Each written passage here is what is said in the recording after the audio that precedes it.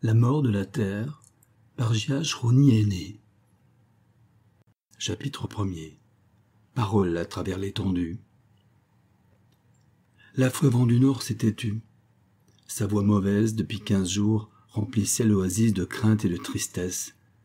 Il avait fallu dresser les serres de silice élastique et les brises ouragans sur les plantes. Enfin l'oasis commençait à tiédir.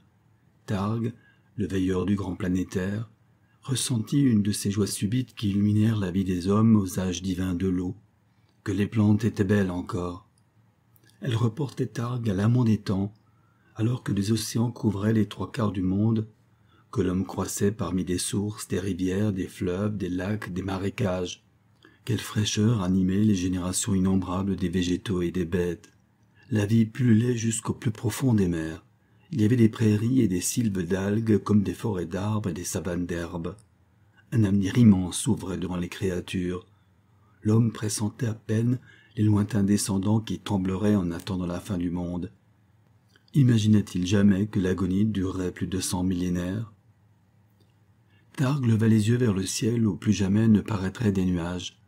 La matinée était fraîche encore, mais à midi, l'oasis serait torride. La moisson est prochaine, murmura le bailleur.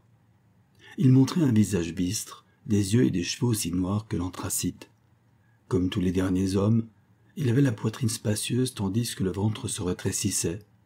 Ses mains étaient fines, ses mâchoires petites, ses membres décelaient plus d'agilité que de force. Un vêtement de fibres minérales, aussi souple et chaud que les laines antiques, s'adaptait exactement à son corps. Son être exhalait une grâce résignée, un charme craintif que soulignaient les joues étroites et le feu pensif des prunelles. Il s'attardait à contempler un champ de hautes céréales, des rectangles d'arbres dont chacun portait autant de fruits que de feuilles, et il dit Hache sacrée, aube prodigieuse, où les plantes couvraient la jeune planète. Comme le grand planétaire était aux confins de l'oasis et du désert, Tark pouvait apercevoir un sinistre paysage de granit, de silice et de métaux une plaine de désolation étendue jusqu'au contrefort des montagnes nues, sans glacier, sans source, sans un brin d'herbe ni une plaque de lichen. Dans ce désert de mort, l'oasis, avec ses plantations rectilignes et ses villages métalliques, était une tâche misérable. Targ sentit peser la vaste solitude et les monts implacables. Il leva mélancoliquement la tête vers la conque du grand planétaire. La conque de l'appareil étalait une corolle soufre vers l'échancrure des montagnes, faite d'arcom et sensible comme une rétine. Elle ne recevait que les rythmes du large, émanés des oasis, et selon le réglage, éteignait ceux auxquels le veilleur ne devait pas répondre. Targ l'aimait comme un emblème de l'étendue, des rares aventures encore possibles à la créature humaine. Dans ses mélancolies, il se tournait vers elle, il en attendait du courage ou de l'espérance. Une voix le fit tressaillir. Avec un faible sourire, il vit monter vers la plateforme une jeune fille au contour rythmique. Elle portait librement ses cheveux de ténèbres. Son buste ondulait, aussi flexible que la tige des langues céréales. Le veilleur la considérait avec amour. Sa sœur Arva était la seule créature près de qui il retrouva ses minutes subites, imprévues et charmantes, où il semblait qu'au fond du mystère, quelques énergies veillassent encore pour le sauvetage des hommes. Elle s'exclama avec un rire contenu. Le temps est beau, Targ. Les plantes sont heureuses. Elle aspira l'odeur consolante qui sourd de la chair verte des feuilles. Le feu noir de ses yeux palpitait. Trois oiseaux planèrent au-dessus des arbres et s'abattirent au bord de la plateforme. Ils avaient la taille des anciens condors, des formes aussi pures que celles des beaux corps féminins, d'immenses ailes argentines glacées d'améthyste, dont les pointes émettaient une lueur violette, leur tête était grosse, leur bec très court, très souple, rouge comme des lèvres, et l'expression de leurs yeux se rapprochait de l'expression humaine. L'un d'eux, levant la tête, fit entendre des sons articulés. Tark prit la main d'Arba avec inquiétude. Tu as compris fit-il, la terre s'agite. Quoique, depuis très longtemps, aucune oasis n'eût péri par les secousses sismiques, et que d'ailleurs l'amplitude de celle-ci eût bien diminué depuis l'air sinistre où elles avaient brisé la puissance humaine, Arba partagea le trouble de son frère. Mais une idée capricieuse lui passant par l'esprit, Qui sait, fit-elle, si après avoir fait tant de mal à nos frères, les tremblements de terre ne nous deviendront pas favorables? Et comment? demanda Targ avec indulgence, en faisant apparaître une partie des eaux. Il y avait souvent rêvé, sans l'avoir dit à personne, car une telle pensée eût paru stupide et presque blasphématoire à une humanité déchue dont toutes les terreurs évoquaient des soulèvements planétaires. Tu y penses donc aussi? s'exclama-t-il avec une sorte d'exaltation. Ne le dis à personne. Tu les offenserais jusqu'au fond de l'âme. Je ne pouvais le dire qu'à toi. De toutes parts surgissaient des bandes blanches d'oiseaux. Ceux qui avaient rejoint Targ et Arba piétaient avec impatience. Le jeune homme leur parlait en employant une syntaxe particulière, car à mesure que se développait leur intelligence, les oiseaux s'étaient initiés au langage, un langage qui n'admettait que des termes concrets et des phrases-images. Leur notion de l'avenir demeurait obscure et courte, leur prévoyance instinctive. Depuis que l'homme ne se servait plus d'eux comme nourriture, ils vivaient heureux, incapables de concevoir leur propre mort et plus encore la fin de leur espèce. L'oasis en élevait douze cents environ, dont la présence était d'une vive douceur et fort utile. L'homme, n'ayant pu regagner l'instinct, perdu pendant les airs de sa puissance, la condition actuelle du milieu le mettait aux prises avec des phénomènes que ne pouvaient guère signaler les appareils, si délicats pourtant, hérités des ancêtres, et que prévoyaient les oiseaux. Si ceux-ci avaient disparu, dernier vestige de la vie animale, une plus amère désolation se serait abattue sur les âmes. Le péril n'est pas immédiat, murmura Targ. Une rumeur parcourait l'oasis.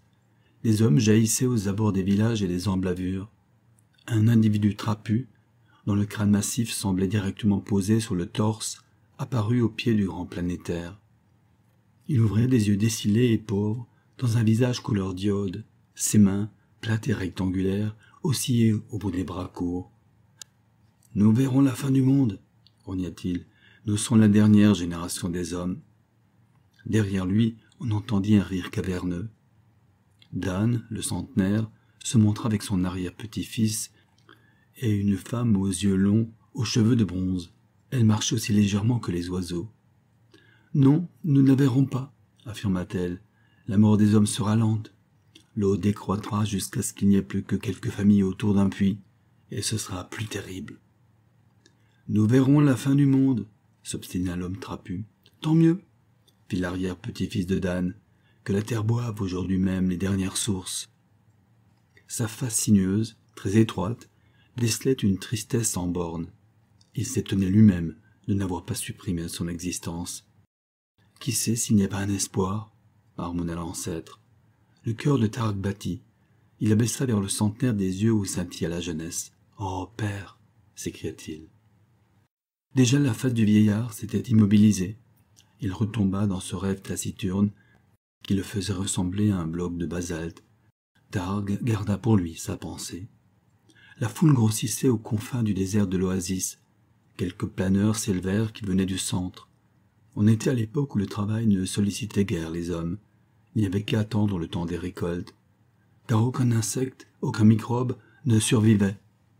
Resserrés sur d'étroits domaines, hors desquels toute vie protoplasmique était impossible, les aïeux avaient mené une lutte efficace contre les parasites.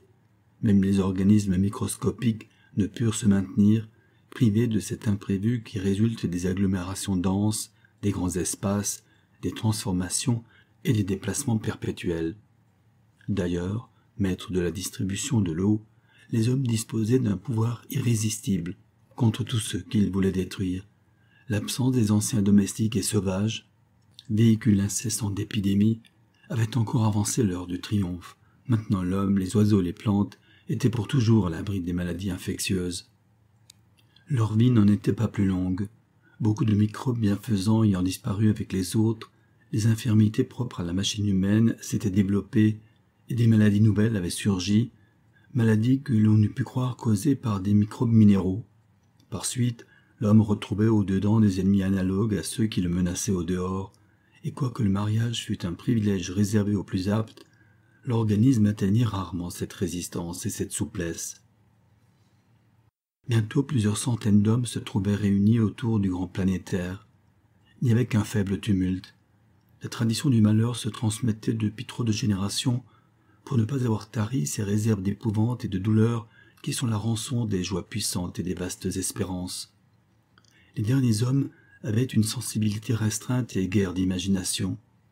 Toutefois, la foule était inquiète, quelques visages se crispaient, et ce fut un soulagement lorsqu'un quadragénaire, sautant d'une motrice, cria Les appareils sismiques ne signalent rien encore, la secousse sera faible.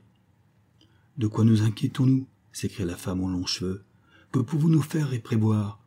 Toutes les mesures sont prises depuis les siècles des siècles. Nous sommes à la merci de l'inconnu. C'est une affreuse sottise de s'enquérir d'un péril inévitable. Non, Hélé, répondit le quadragénaire, ce n'est pas de la sottise, c'est de la vie. Tant que les hommes auront la force de s'inquiéter, leurs jours auront encore quelque douceur. Après, ils seront morts dès l'heure de leur naissance. Qu'il en soit ainsi, ricana le petit fils de Dan nos joies misérables et nos débiles tristesses valent moins que la mort. Le quadragénaire secoua la tête. Comme Targ et sa sœur, il avait encore de l'avenir dans son âme et de la force dans sa large poitrine. Son regard clair, rencontrant les yeux frais d'Arva, une fine émotion accéléra son souffle. Cependant, d'autres groupes se rassemblaient aux divers secteurs de la périphérie.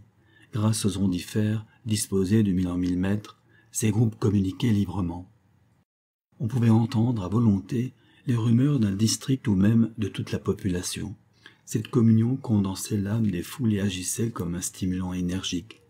Il y eut une manière d'exaltation lorsqu'un message de l'oasis des terres rouges vibra dans la conque du grand planétaire et se répercuta d'ondifère en ondifère. Il apprenait que là-bas, non seulement les oiseaux, mais les sismographes annonçaient des troubles souterrains. Cette confirmation du péril resserra les groupes. Mano, le quadragénaire, avait gravi la plateforme. Targ et Arba étaient pâles, et comme la jeune fille tremblait un peu, le nouveau venu murmura L'étroitesse même des oasis et leur petit nombre doivent nous rassurer. La probabilité est bien faible qu'elles se trouvent dans les zones dangereuses. D'autant moins le sont-elles, appuya Targ, que c'est leur position même qui jadis les a sauvées.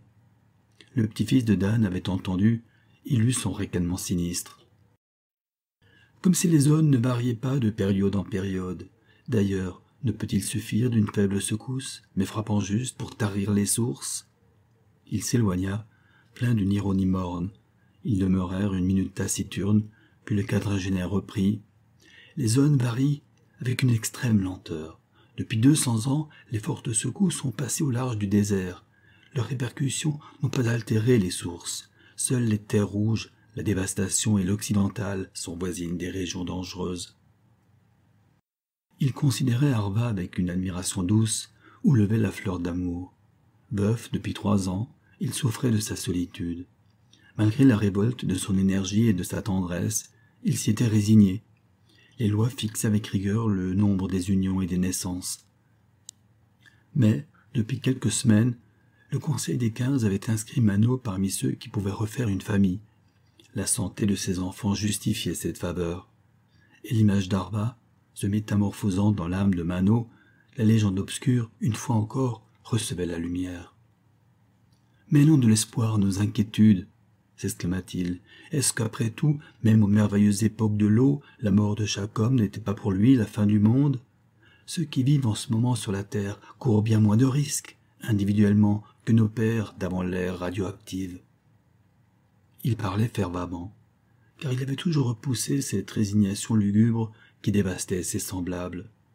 Sans doute, un trop long atavisme ne lui permettait de la fuir que par intermittence. Toutefois, il avait plus qu'un autre connu la joie de vivre le présent, l'étincelante minute qui passe. Arba l'écoute avec faveur, mais Targ ne pouvait pas concevoir qu'on négligeât l'avenir de l'espèce. Si, comme Mano, il lui arrivait d'être brusquement saisi par la volupté fugitive, il y mêlait toujours ce grand rêve du temps qu'avaient mené les ancêtres. Je ne puis me désintéresser de notre descendance, riposta-t-il, étendant la main vers l'immense solitude. Que l'existence serait belle si notre règne occupait ces affreux déserts. Ne songez-vous jamais qu'il y avait là des mers, des lacs, des fleuves, des plantes innombrables et, avant la période radioactive, des forêts vierges? Ah, Mano, des forêts vierges. Et maintenant, une vie obscure dévore notre antique patrimoine. Mano leva doucement les épaules. C'est un mal d'y penser, puisqu'en dehors des oasis, la Terre est aussi inhabitable pour nous, plus peut-être, que Jupiter ou Saturne. Une rumeur les interrompit, les têtes se dressèrent attentives, et l'on vit survenir une nouvelle troupe d'oiseaux. Ils annonçaient que là-bas, à l'ombre des rocs, une jeune fille évanouie était la proie des ferromagnétos. Et tandis que deux planeurs s'élevaient sur le désert, la foule songeait aux étranges créatures magnétiques qui se multipliaient sur la planète pendant que déclinait l'humanité. De longues minutes s'écoulèrent. Les planeurs reparurent. L'un d'eux rapportait un corps inerte, en qui tous reconnurent Elma la nomade. C'était une fille singulière, orpheline, et peu aimée car elle avait des instincts de rôdeuse, dont la sauvagerie déconcertait ses semblables. Rien ne pouvait l'empêcher certains jours de fuir à travers les solitudes. On l'avait déposée sur la plateforme du planétaire. Son visage, mi-enseveli dans les longs cheveux noirs, apparut livide, encore que parsemé de points écarlates. Elle est morte, déclara Mano. Les autres ont bu sa vie. Pauvre petite Elma, s'écria Targ. Il la considérait avec pitié, et si passive qu'elle fût, la foule grondait de haine contre les ferromagnétos. Mais les résonateurs, clamant des phrases éclatantes, détournèrent l'attention. Les sismographes décèlent une secousse brusque dans la zone des terres rouges. Ah criait la voix plaintive de l'homme trapu. Aucun écho ne lui répondit. Les visages étaient dirigés vers le grand planétaire. La multitude attendait, dans une frissonnante impatience. Rien, s'exclama Mano après deux minutes d'attente. Si les terres rouges avaient été atteintes, nous le saurions déjà. Un appel strident lui coupa la parole, et la conque du grand planétaire clama. Immense secousse, l'oasis entière se soulève, catas. Puis les sons confus, un entrechoquement sourd, le silence. Tous, hypnotisés, attendirent pendant plus d'une minute. Ensuite, la foule eut une rude respiration. Les moins émotifs s'agitèrent. C'est un grand désastre, annonça le vieux Dan. Personne n'en doutait. Les terres rouges possédaient dix planétaires de grande communication, dirigeables en tous sens.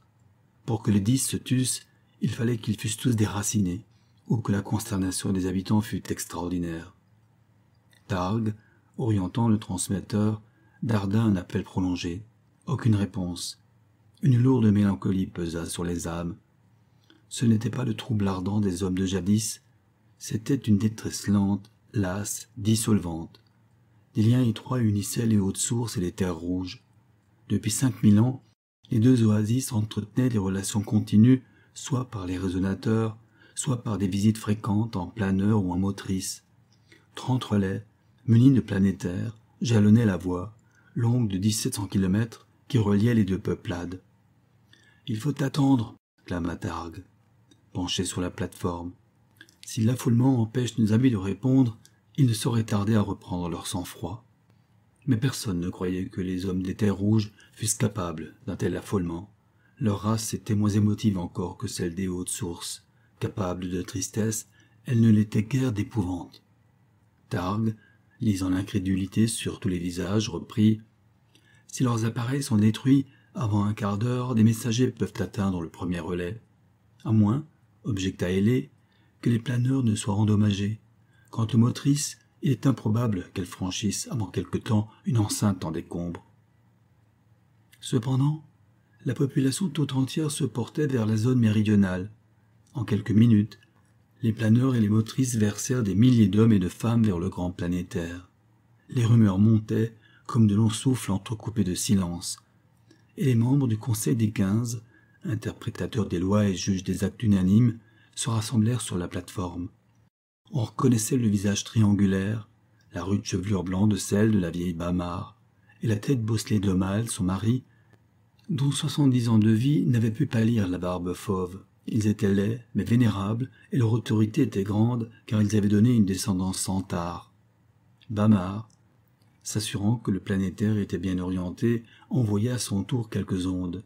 Devant le silence du récepteur, son visage s'assombrit encore. Jusqu'à présent, la dévastation est sauve, murmura Omal, et les sismographes n'annoncent aucune secousse dans les autres zones humaines. Soudain, un bruissement d'appel strida, et tandis que la multitude se dressait, hypnotique, on entendit gronder le grand planétaire. Du premier relais des terres rouges, deux secousses puissantes ont soulevé l'oasis. Le nombre des morts et des blessés est considérable. Les récoltes sont anéanties, les eaux semblent menacées, des planeurs partent pour les hautes sources. Ce fut une ruée. Les hommes, les planeurs et les motrices surgissaient par torrents. Une excitation inconnue depuis des siècles soulevait les âmes résignées. La pitié, la crainte et l'inquiétude rajeunissaient cette multitude du dernier âge. Le conseil des quinze délibérait, tandis que Targue, tout tremblant, répondait au message des terres rouges et annonçait le départ prochain d'une délégation. Aux heures tragiques, les trois oisisseurs, terre rouge, haute source, la dévastation, se devaient des secours. Omal, qui avait une connaissance parfaite de la tradition, déclara Nous avons des provisions pour cinq ans. Le quart peut être réclamé par les terres rouges. Nous sommes aussi tenus de recueillir deux mille réfugiés, si c'est inévitable. Mais ils n'auront que des rations réduites, et il leur sera interdit de s'accroître. Nous-mêmes devrons limiter nos familles, car il faut, avant quinze ans, ramener la population aux chiffres traditionnels. Le Conseil approuva ce rappel aux lois, puis Mamar cria vers la foule Le Conseil va nommer ceux qui partiront pour les terres rouges. Il n'y en aura pas plus de neuf. D'autres seront envoyés lorsque nous connaîtrons les besoins de nos frères. Je demande à partir, supplia le veilleur. Et moi ajouta vivement Arva. Les yeux de Mano étincelèrent. Si le Conseil le veut, je serai aussi parmi les envoyés. Ommal leur jeta un regard favorable, car il avait jadis, comme eux, connu ces mouvements spontanés, si rares parmi les derniers hommes. À part Amat, adolescent frêle, la foule attendait passivement la décision du Conseil. Soumise aux règles millénaires, accoutumée à une existence monotone que troublaient seuls les météores, les peuplades avaient perdu le goût de l'initiative. Résignées, patientes, douées d'un grand courage passif, rien ne les excitait aux aventures. Les déserts énormes qui les enveloppaient, vides de toute ressource humaine, pesaient sur leurs actes comme sur leurs pensées. Rien ne s'oppose au départ de Targ, d'Arba et de Mano, remarqua la vieille Bamar, mais la route est longue pour Amat. Que le conseil décide.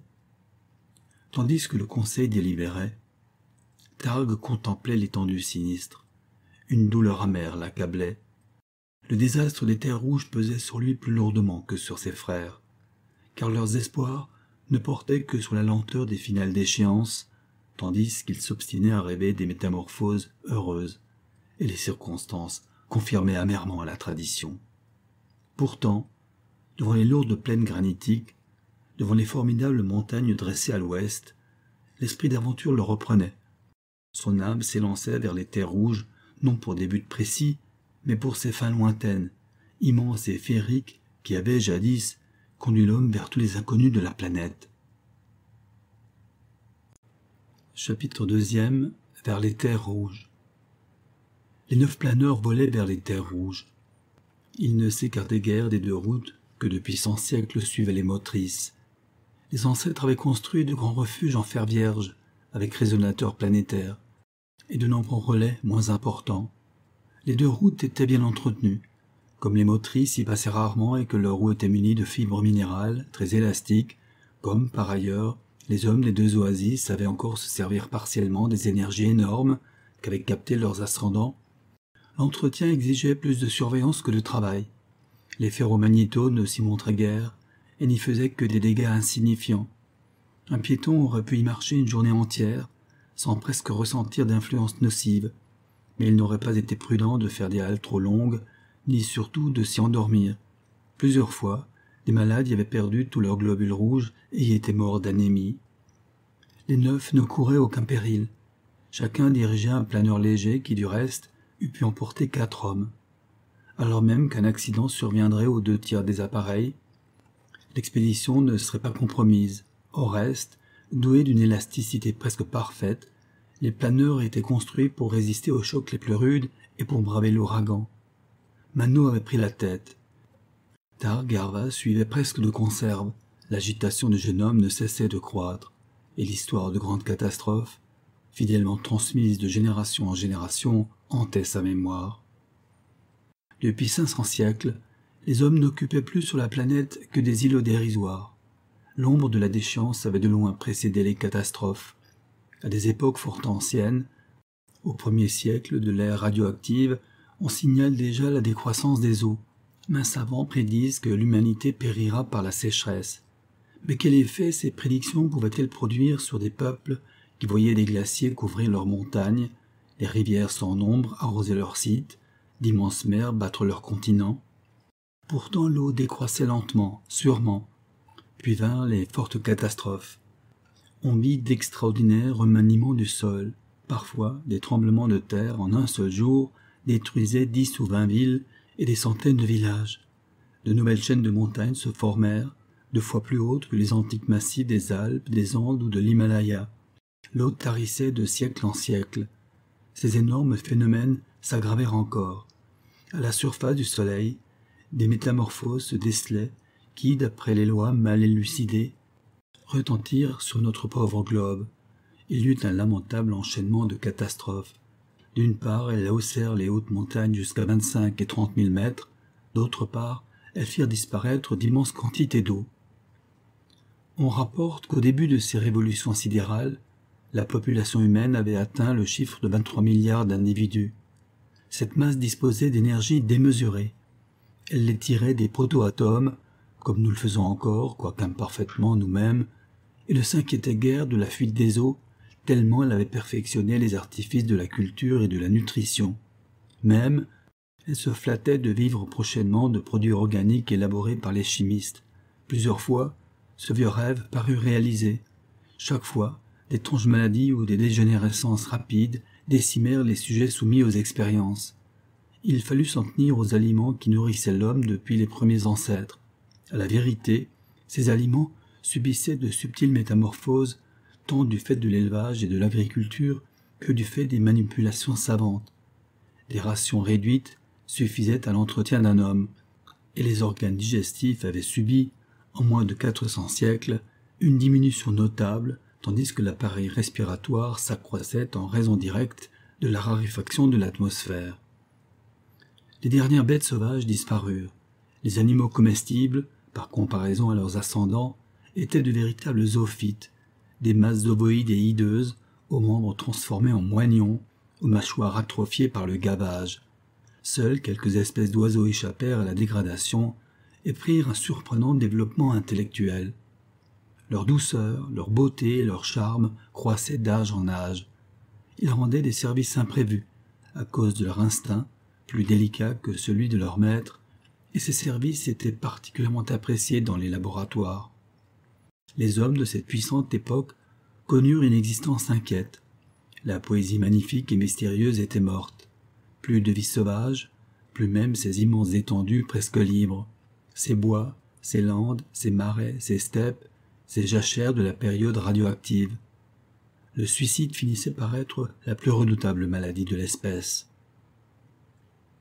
En quinze millénaires, la population terrestre descendit de 23 à 4 milliards d'âmes. Les mers, réparties dans les abîmes, n'occupaient plus que le quart de la surface. Les grands fleuves et les grands lacs avaient disparu. Les monts pullulaient, immenses et funèbres. Ainsi la planète sauvage reparaissait, mais nue. L'homme, cependant, luttait éperdument. Il s'était flatté, s'il ne pouvait vivre sans eau, de fabriquer celle dont il aurait besoin pour ses usages domestiques et agricoles. Mais les matériaux utiles devenaient rares, sinon à des profondeurs qui rendaient leur exploitation dérisoire. Il fallut se rabattre sur des procédés de conservation, sur des moyens ingénieux pour ménager l'écoulement et pour tirer le maximum d'effet du fluide nourricier. Les animaux domestiques périrent, incapables de s'habituer aux nouvelles conditions vitales. En vain tenta-t-on de refaire des espèces plus rustiques. Une dégradation trois cents fois millénaire avait tari l'énergie évolutive. Seuls les oiseaux et les plantes résistaient. Celles-ci reprirent quelque forme ancestrale. Ceux-là s'adaptèrent au milieu. Beaucoup, redevenant sauvages, construisirent leurs aires à des hauteurs où l'homme pouvait d'autant moins les poursuivre que la raréfaction de l'air, quoique bien moindre, accompagnait celle de l'eau. Ils vécurent de déprédation et déployèrent une ruse si raffinée qu'on ne put les empêcher de se maintenir. Quant à ceux qui demeuraient parmi nos ancêtres, leur sort fut d'abord épouvantable. On tenta de les avilir à l'état de bêtes comestibles, mais leur conscience était devenue trop lucide. Ils luttèrent affreusement pour échapper à leur sort.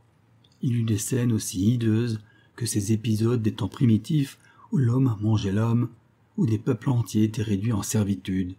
L'horreur pénétra les âmes, peu à peu on cessa de brutaliser les compagnons de planète et de s'en repaître. D'ailleurs, les phénomènes sismiques continuaient à remanier les terres et à détruire les villes. Après trente mille ans de lutte, nos ancêtres comprirent que le minéral, vaincu pendant des millions d'années par la plante et la bête, prenait une revanche définitive. Il y eut une période de désespoir pendant laquelle la population descendit à 300 millions d'hommes, tandis que les mers se réduisaient au dixième de la surface terrestre. Trois ou quatre mille ans de répit firent renaître quelque optimisme. L'humanité entreprit de prodigieux travaux de préservation. La lutte contre les oiseaux cessa, on se borna à les mettre dans des conditions qui ne permettaient pas qu'ils se multipliassent. On tira d'eux de précieux services. Puis les catastrophes reprirent. Les terres habitables se rétrécirent encore. Il y a environ trente mille ans eurent lieu les remaniements suprêmes. L'humanité se trouva réduite à quelques territoires disséminés sous la terre, redevenus vastes et formidables comme aux premiers âges. En dehors des oasis, il devenait impossible de se procurer l'eau nécessaire à la vie. Depuis, une accalmie relative s'est produite, quoique l'eau que nous fournissent les puits creusés dans l'abîme est encore décrue, que la population se soit réduite d'un tiers, que deux oasis aient dû être abandonnées, l'humanité se maintient. Sans doute se maintiendra-t-elle pendant cinquante ou cent mille ans encore. L'homme vit dans un état de résignation douce, triste et très passive. L'esprit de création s'est éteint. Il ne se réveille par atavisme que dans quelques individus. De sélection en sélection, la race a acquis un esprit d'obéissance automatique et par là parfaite aux lois désormais immuables. La passion est rare, le crime nul. Une sorte de religion est née, sans culte, sans rite, la crainte et le respect du minéral. Les derniers hommes attribuent à la planète une volonté lente et irrésistible. D'abord favorable au règne qui naissent d'elle, la Terre leur laisse prendre une grande puissance, L'heure mystérieuse où elle les condamne est aussi celle où elle favorise des règnes nouveaux. Actuellement, ces énergies obscures favorisent le règne ferromagnétique. On ne peut pas dire que les ferromagnétaux aient participé à notre destruction. Tout au plus ont-ils aidé à l'anéantissement, fatal après tout, des oiseaux sauvages. Encore que leur apparition remonte à une époque lointaine, ils ont peu évolué. Leurs mouvements sont d'une surprenante lenteur. Les plus agiles ne peuvent parcourir un décamètre par heure, et les enceintes de fer vierge des oasis, plaquées de bismuth, sont pour eux un obstacle infranchissable. Il leur faudrait, pour nous nuire immédiatement, faire un saut évolutif sans rapport avec leur développement antérieur. On commença à percevoir l'existence du règne ferromagnétique au déclin de l'âge radioactif. C'étaient de bizarres taches violettes sur les fers humains c'est-à-dire sur les fers et les composés des fers qui ont été modifiés par l'usage industriel. Le phénomène n'apparut que sur des produits qui avaient maintes fois resservi. Jamais l'on ne découvrit des taches ferromagnétiques sur des fers sauvages. Le nouveau règne n'a donc pu naître que grâce au milieu humain. Ce fait capital a beaucoup préoccupé nos aïeux. Peut-être fûmes-nous dans une situation analogue vis-à-vis d'une vie antérieure qui, à son déclin, permis l'éclosion de la vie protoplasmique. Quoi qu'il en soit, l'humanité a constaté de bonne heure l'existence des ferromagnétaux. Lorsque les savants eurent décrit leurs manifestations rudimentaires, on ne douta pas que ce fussent des êtres organisés. Leur composition est singulière, elle n'admet qu'une seule substance, le fer. Si d'autres corps, en quantité très petite, s'y trouvent parfois mêlés, c'est en tant qu'impureté, nuisible au développement ferromagnétique. L'organisme s'en débarrasse, à moins qu'il ne soit très affaibli ou atteint de quelque maladie mystérieuse. La structure du fer à l'état vivant est fort variée. Fer fibreux, fer granulé, fer mou, fer dur, etc. L'ensemble est plastique et ne comporte aucun liquide. Mais ce qui caractérise surtout les nouveaux organismes, c'est une extrême complication et une instabilité continuelle de l'état magnétique. Cette instabilité et cette complication sont telles que les chercheurs les plus opiniâtres ont dû renoncer à y appliquer non pas même des lois, mais seulement des règles approximatives. C'est vraisemblablement là qu'il faut voir la manifestation dominante de la vie ferromagnétique. Lorsqu'une conscience supérieure se décèlera dans le nouveau règne, je pense qu'elle reflètera surtout cet étrange phénomène, ou plutôt qu'elle en sera l'épanouissement. En attendant, si la conscience des ferromagnétos existe, elle est encore élémentaire. Ils sont à la période où le soin de la multiplication domine tout. Néanmoins, ils ont déjà subi quelques transformations importantes. Les écrivains de l'âge radioactif nous font voir chaque individu composé de trois groupes, avec tendance marquée dans chaque groupe à la forme hélicoïde. Ils ne peuvent, à cette époque, parcourir plus de 5 ou 6 cm par 24 heures. Lorsqu'on déforme leurs agglomérations, ils mettent plusieurs semaines à les reformer. Actuellement, comme on l'a dit, ils arrivent à franchir 10 mètres par heure. De plus, ils comportent des agglomérations de 3, 5, 7 et même 9 groupes, la forme des groupes revêtant une grande variété. Un groupe, composé d'un nombre considérable de corpuscules ferromagnétiques, ne peut subsister solitaire. Il faut qu'il soit complété par deux, par quatre, six ou huit autres groupes. Une série de groupes comporte évidemment des séries énergétiques sans qu'on puisse dire de quelle façon. À partir de l'agglomération par sept, le ferromagnétal dépérit si l'on supprime un des groupes. En revanche, une série ternaire peut se reformer à l'aide d'un seul groupe et une série quinquenaire à l'aide de trois groupes. La reconstitution d'une série mutilée ressemble beaucoup à la genèse des ferromagnétos. Cette genèse garde pour l'homme un caractère profondément énigmatique. Elle s'opère à distance. Lorsqu'un ferromagnétal prend naissance, on constate invariablement la présence de plusieurs autres ferromagnétos. Selon les espèces, la formation d'un individu prend de 6 à 10 jours. Elle semble exclusivement due à des phénomènes d'induction. La reconstitution d'un ferromagnétal lésé s'opère à l'aide de procédés analogues. Actuellement, la présence des ferromagnétos est à peu près inoffensive. Il en serait sans doute différemment si l'humanité s'étendait. En même temps qu'ils songeaient à combattre les ferromagnétos, nos ancêtres cherchèrent quelques méthodes pour faire tourner leur activité à l'avantage de notre espèce. Rien ne semblait s'opposer, par exemple, à ce que la substance des ferromagnétos servît aux usages industriels. S'il en était ainsi, il suffirait de protéger les machines ce qui paraît jadis avoir été réalisé sans trop de frais, d'une manière analogue à celle dont nous préservons nos oasis. Cette solution, en apparence élégante, a été tentée. Les annales anciennes rapportent qu'elle échoua. Le fer transformé par la vie nouvelle se montre réfractaire à tout usage humain. Sa structure et son magnétisme si variés en font une substance qui ne se prête à aucune combinaison ni à aucun travail orienté. Sans doute, cette structure semble s'uniformiser et le magnétisme disparaître aux approches de la température de fusion, et a fortiori lors de la fusion même. Mais lorsqu'on laisse le métal se refroidir, les propriétés nuisibles reparaissent. En outre, l'homme ne peut séjourner longtemps dans les contrées ferromagnétiques de quelque importance. En peu d'heures, il s'anémie. Après un jour et une nuit, il se trouve dans un état d'extrême faiblesse. Il ne tarde pas à s'évanouir. S'il n'est pas secouru, il succombe. On n'ignore pas la raison immédiate de ces faits. Le voisinage des ferromagnétos tend à nous enlever nos globules rouges. Ces globules, presque réduits à l'état d'hémoglobine pure, s'accumulent à la surface de l'épiderme et sont ensuite attirés vers les ferromagnétos qui les décomposent et semblent se les assimiler. Diverses causes peuvent contrebalancer ou retarder le phénomène. Il suffit de marcher pour n'avoir rien à craindre. À plus forte raison suffit-il de circuler en motrice. Si l'on se vêt d'un tissu en fibre de bismuth, on peut braver l'influence ennemie pendant deux jours au moins. Elle s'affaiblit si l'on se couche la tête au nord. Elle s'atténue spontanément lorsque le soleil est près du méridien. Bien entendu, lorsque le nombre des ferromagnétos décroît, le phénomène est de moins en moins intense. Un moment vient où il s'annule, car l'organisme humain ne se laisse pas faire sans résistance. Enfin, l'action ferromagnétique diminue d'abord selon la courbe des distances et devient insensible à moins de dix mètres. On conçoit que la disparition des ferromagnétos parut nécessaire à nos ancêtres. Ils entreprirent la lutte avec méthode. À l'époque où débutèrent les grandes catastrophes, cette lutte exigea de lourds sacrifices. Une sélection s'était opérée parmi les ferromagnétos. Il fallait user d'énergie immense pour refréner leur pullulation. Les remaniements planétaires qui suivirent donnèrent l'avantage au nouveau règne.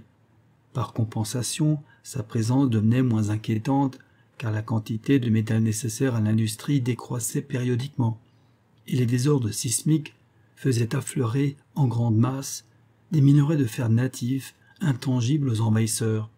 Aussi, la lutte contre ceux-ci se ralentit-elle au point de devenir négligeable?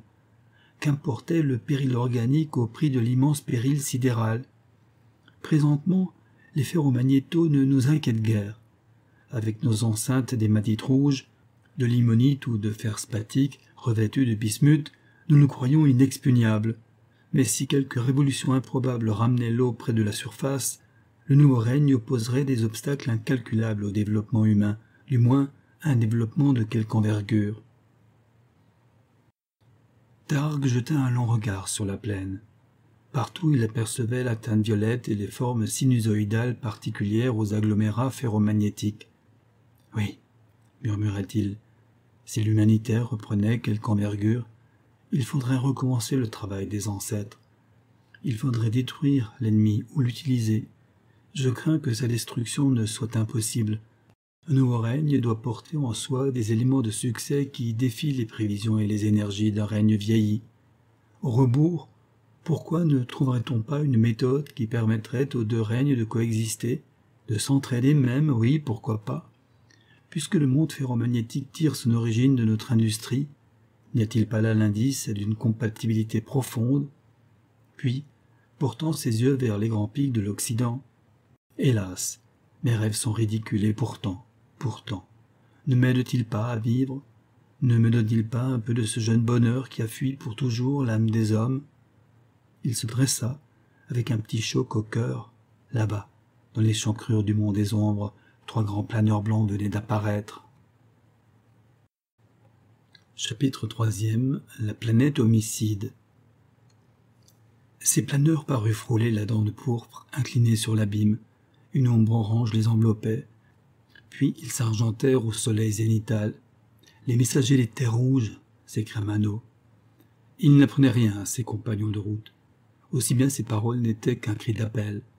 Les deux escadrilles hâtaient leur marche. Bientôt les masses pâles s'abaissèrent vers les pennes émeraudes des hautes sources. Des salutations retentirent, suivies d'un silence. Les cœurs étaient lourds. On n'entendait que le ronflement léger des turbines et le froissement des pennes. Tous sentaient la force cruelle de ces déserts, où ils semblaient s'y en maître. À la fin, Targ demanda d'une voix craintive Connaît-on l'importance du désastre Non, répondit un pilote au visage bistre. On ne le connaîtra pas en de longues heures. On sait seulement que le nombre des morts et des blessés est considérable, et ce ne serait rien, mais on craint la perte de plusieurs sources. Il pencha la tête avec une calme amertume. Non seulement la récolte est perdue, mais beaucoup de provisions ont disparu. Toutefois, s'il n'y a pas d'autres secousses, avec l'aide des hautes sources et de la dévastation, nous pourrons vivre pendant quelques années la race cessera provisoirement de se reproduire et peut-être n'aurons-nous à sacrifier personne. Un moment encore, les escadrilles volèrent de conserve, puis le pilote au visage bistre changea la direction. Ceux des terres rouges s'éloignèrent vers le nord, tandis que les neufs montaient vers l'échancrure du mont des ombres.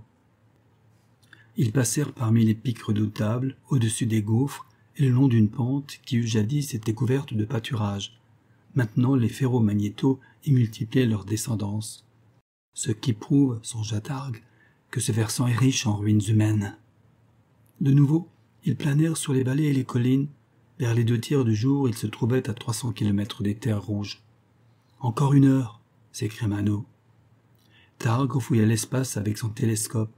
Il aperçut, indécis encore, l'oasis et la zone écarlate à qui elle avait emprunté son nom. L'esprit d'aventure engourdi après la rencontre des grands planeurs, se réveilla dans le cœur du jeune homme. Il accéléra la vitesse de sa machine et devança Mano. Des vols d'oiseaux tournoyaient sur la zone rouge. Plusieurs s'avancèrent vers l'escadrille. À cinquante kilomètres de l'oasis, ils affluèrent. Leur mélopée confirmait le désastre et prédisait des secousses imminentes. Targ, le cœur serré, écoutait et regardait, sans pouvoir articuler une parole. La terre désertique semblait avoir subi la morsure d'une prodigieuse charrue. À mesure qu'on approchait, l'oasis montra ses maisons effondrées, son enceinte disloquée, les récoltes presque englouties, de misérables fourmis humaines grouillant parmi les décombres. Soudain, une immense clameur déchira l'atmosphère. Le voile des oiseaux se brisa étrangement, un effrayant frisson secoua l'étendue. La planète homicide consommait son œuvre. Seul Targerva avait poussé un cri de pitié et d'horreur. Les autres aviateurs continuaient leur route, avec la tristesse calme des derniers hommes. L'oasis fut là. Elle retentissait de plaintes sinistres. On voyait courir, ramper ou panteler de pitoyables créatures. D'autres demeuraient immobiles, frappés par la mort. Parfois, une tête sanglante semblait sortir du sol. Le spectacle devenait plus hideux à mesure qu'on discernait mieux les épisodes. Les neuf planèrent, incertains. Le vol des oiseaux, d'abord enfiévré par l'épouvante, s'harmonisait. Aucune autre secousse n'était prochaine. On pouvait atterrir.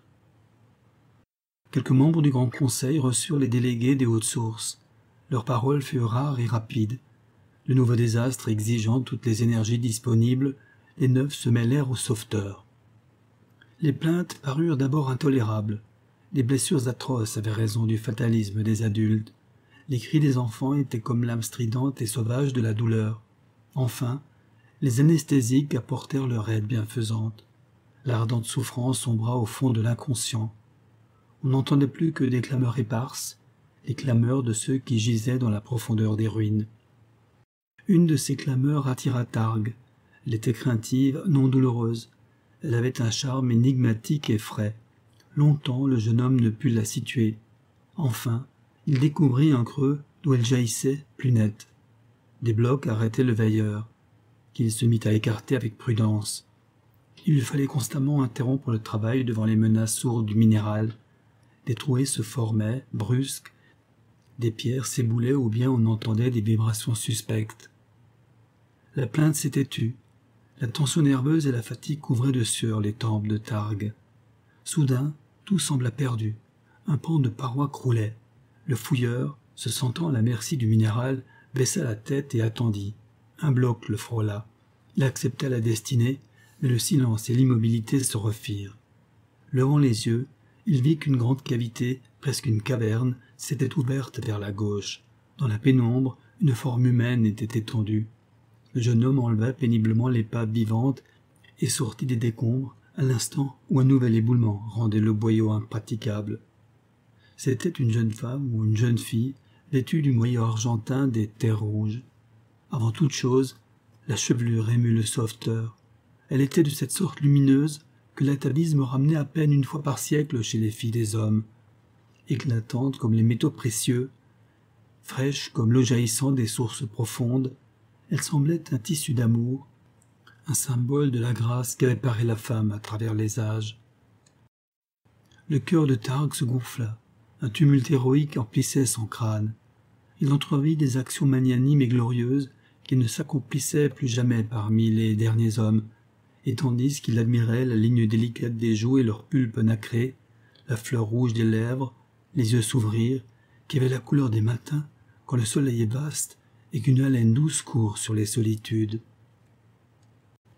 Chapitre quatrième Dans la terre profonde. C'était après le crépuscule. Les constellations avivaient leurs flammes fines. L'oasis, taciturne, cachait sa détresse et ses douleurs. Et Targue promenait une âme fiévreuse près de l'enceinte. L'heure était affreuse pour les derniers hommes. Successivement, les planétaires avaient annoncé d'immenses désastres. La dévastation était détruite. Aux deux équatoriales, à la Grande Combe, au sable bleu, les eaux avaient disparu. Elles décroissaient aux hautes sources. L'oasis claire et le val de soufre annonçaient, annonçaient ou des secousses ruineuses ou des fuites rapides du liquide. L'humanité entière subissait le désastre. Targue franchit l'enceinte en ruine. Il entra dans le désert muet et terrible. La lune parut, presque pleine, et commença d'éteindre les plus faibles étoiles. Elle éclairait les granites rouges et les piles violettes des ferromagnétaux. Une phosphorescence pâle ondulait par intervalles, signe mystérieux de l'activité des nouveaux êtres. Le jeune homme avançait dans la solitude, inattentif à sa grandeur funèbre. Une image brillante dominait les navrements de la catastrophe. Il emportait comme un double de la chevelure vermeille. L'étoile Vega palpitait ainsi qu'une prunelle bleue. L'amour devenait l'essence même de sa vie, et cette vie était plus intense, plus profonde, prodigieuse. Il en souffrait, mais il aimait sa souffrance. Elle lui révélait, dans sa plénitude, ce monde de beauté qu'il avait pressenti et pour lequel il valait mieux mourir que de vivre pour le morne idéal des derniers hommes. Par intervalles, comme un nom devenu sacré, le nom de celle qu'il avait retirée des décombres venait à sa lèvre. R. Dans le farouche silence, le silence du désert éternel, comparable au silence du grand éther où vacillent les astres, il avançait encore. L'air était immobile, autant que les granites. Le temps semblait mort. L'espace figurait un autre espace que celui des hommes, un espace inexorable, glacial, plein de mirages lugubres. Pourtant, une vie était là, abominable d'être celle qui succéderait à la vie humaine, sournoise, terrifique, inconnaissable. Deux fois, Targ s'arrêta pour voir agir les formes phosphorescentes. La nuit ne les endormait point. Elles se déplaçaient pour des fins mystérieuses. La façon dont elles glissaient sur le sol ne s'expliquait par aucun organe. Mais il se désintéressait vite d'elles. L'image d'Airé l'entraînait. Il y avait une relation confuse entre cette marche dans la solitude et l'héroïsme éveillé dans son âme. Il cherchait confusément l'aventure, l'aventure impossible, l'aventure chimérique, la découverte de l'eau. L'eau seule pouvait lui donner air Toutes les lois de l'homme le séparaient d'elle. Hier encore il aurait pu la rêver pour épouse. Il suffisait qu'une fille des hautes sources fût en échange accueillie aux terres rouges. Après la catastrophe, l'échange devenait impossible. Les hautes sources recevraient des exilés, mais en les condamnant au célibat. La loi était inexorable. Targ l'acceptait comme une nécessité supérieure. La lune fut claire. Elle étalait son disque de nacre et d'argent sur les collines occidentales. Hypnotisé, Targ se dirigeait vers elle. Il vint dans un terroir de roches. La trace du désastre y restait. Plusieurs s'étaient renversés, d'autres fondus. Partout la terre siliceuse montrait des crevasses. On dirait, murmura le jeune homme, que la secousse atteint ici sa plus grande violence. Pourquoi? Son rêve s'éloignait un peu. L'ambiance excitait sa curiosité. Pourquoi? se redemanda-t-il. Oui, pourquoi? Il s'arrêtait à chaque moment pour considérer les rocs et aussi par prudence. Ce sol convulsé devait être plein de pièges. Une exaltation étrange le saisit. Il songea que si une route existait vers l'eau, il y avait bien des chances pour qu'elle se décelât dans cet endroit si profondément remanié. Ayant allumé la radiatrice, qu'il ne quittait jamais en voyage, il s'engagea dans des fissures ou des corridors. Tous se rétrécissaient rapidement ou se terminaient en cul-de-sac. La fin, il se trouva devant une fente médiocre, à la base d'une roche haute et très large, que les secousses n'avaient que faiblement entamée. Il suffisait d'examiner la cassure, par endroits étincelante comme du cristal, pour deviner qu'elle était récente. Targue, la jugeant négligeable, allait s'éloigner. Des scintillations l'attirèrent. Pourquoi ne pas l'explorer? Si elle était peu profonde, il n'aurait que quelques pas à faire. Elle se révéla plus longue qu'il ne l'eût espéré. Néanmoins, après une trentaine de pas, elle commença de se rétrécir. Bientôt Targue crut qu'il ne pourrait aller plus loin s'arrêta, examina scrupuleusement les détails des murailles. Le passage n'était pas encore impossible, mais il fallait ramper. Le veilleur n'hésita guère. Il s'engagea dans un trou, dont le diamètre excédait à peine la largeur d'un homme. Le passage sinueux et semé de pierres aiguës devint plus étroit encore. Tark se demanda s'il lui serait possible de revenir en arrière. Il était comme encastré dans la terre profonde, captif du minéral, petite chose infiniment faible qu'un seul bloc réduirait en particules. Mais la fièvre de la chose commençait palpiter en lui. S'il abandonnait la tâche avant qu'elle ne fût tout à fait impossible, il se haïrait et se mépriserait ensuite. Il persévéra. Les membres trempés de sueur, il avança longtemps dans les entrailles du roc. À la fin, il eut une défaillance. Les battements de son corps, qui faisaient comme un grand bruit d'ailes, s'affaiblirent il n'y eut plus qu'une palpitation chétive. Le courage et l'espoir tombèrent comme des fardeaux. Quand le cœur reprit quelque force, Tark se jugea ridicule d'être engagé dans une aventure aussi primitive. Ne serais-je pas un fou? Et il commença de ramper en arrière. Alors un désespoir atroce l'accabla. L'image d'Erez se dessina si vive qu'elle semblait être avec lui dans la fissure. Quand je serai fou, fit-il dans un délire, Ma folie vaudrait mieux encore que l'affreuse sagesse de mes semblables. En avant. Il recommença l'aventure. Il joua sauvagement sa vie, résolu à ne s'arrêter que devant l'infranchissable. Le hasard parut favorable à son audace. La crevasse s'élargit. Il se trouva dans un haut corridor de basalte dont la voûte semblait soutenue par des colonnes d'anthracite. Une joie aiguë le saisit. Il se mit à courir. Tout parut possible. Mais la pierre est aussi pleine d'énigmes que jadis la forêt verte. Soudain le couloir se termina. Targ se trouva devant une muraille ténébreuse dont la radiatrice tirait à peine quelques reflets. Néanmoins, il ne cessait d'explorer les parois et il découvrit, à trois mètres de hauteur, l'ouverture d'une autre crevasse. C'était une fente un peu sinueuse, inclinée d'environ quarante degrés sur l'horizontale, assez large pour admettre le passage d'un homme. Le veilleur la considérait avec un mélange de joie et de désappointement. Elle attirait sa chimérique espérance, puisqu'enfin la voie n'était pas définitivement close. Par ailleurs, elle se manifestait décourageante puisqu'elle reprenait vers le haut. Si elle ne redescend pas, il y a plus de chances qu'elle me ramène à la surface que dans le sous-sol, grommela l'explorateur. Il eut un geste d'insouciance et de défi, un geste qui lui était étranger comme à tous les hommes actuels, et qui répétait quelque geste ancestral. Puis se mit en devoir d'escalader la paroi. Elle était presque verticale et lisse. Mais Targ avait emporté l'échelle en fibre d'arcom, que les aviateurs n'oubliaient jamais. Il la tira de son sac d'outils. Après avoir servi à plusieurs générations, elle était aussi souple et solide qu'au premier jour. Il déroula sa fine et légère structure, la saisissant par le milieu, il lui imprima l'élan utile. C'était un mouvement qu'il exécutait dans la perfection. Les crochets qui terminaient l'échelle s'agriffèrent sans peine au basalte. En quelques secondes, l'explorateur atteignit la fente.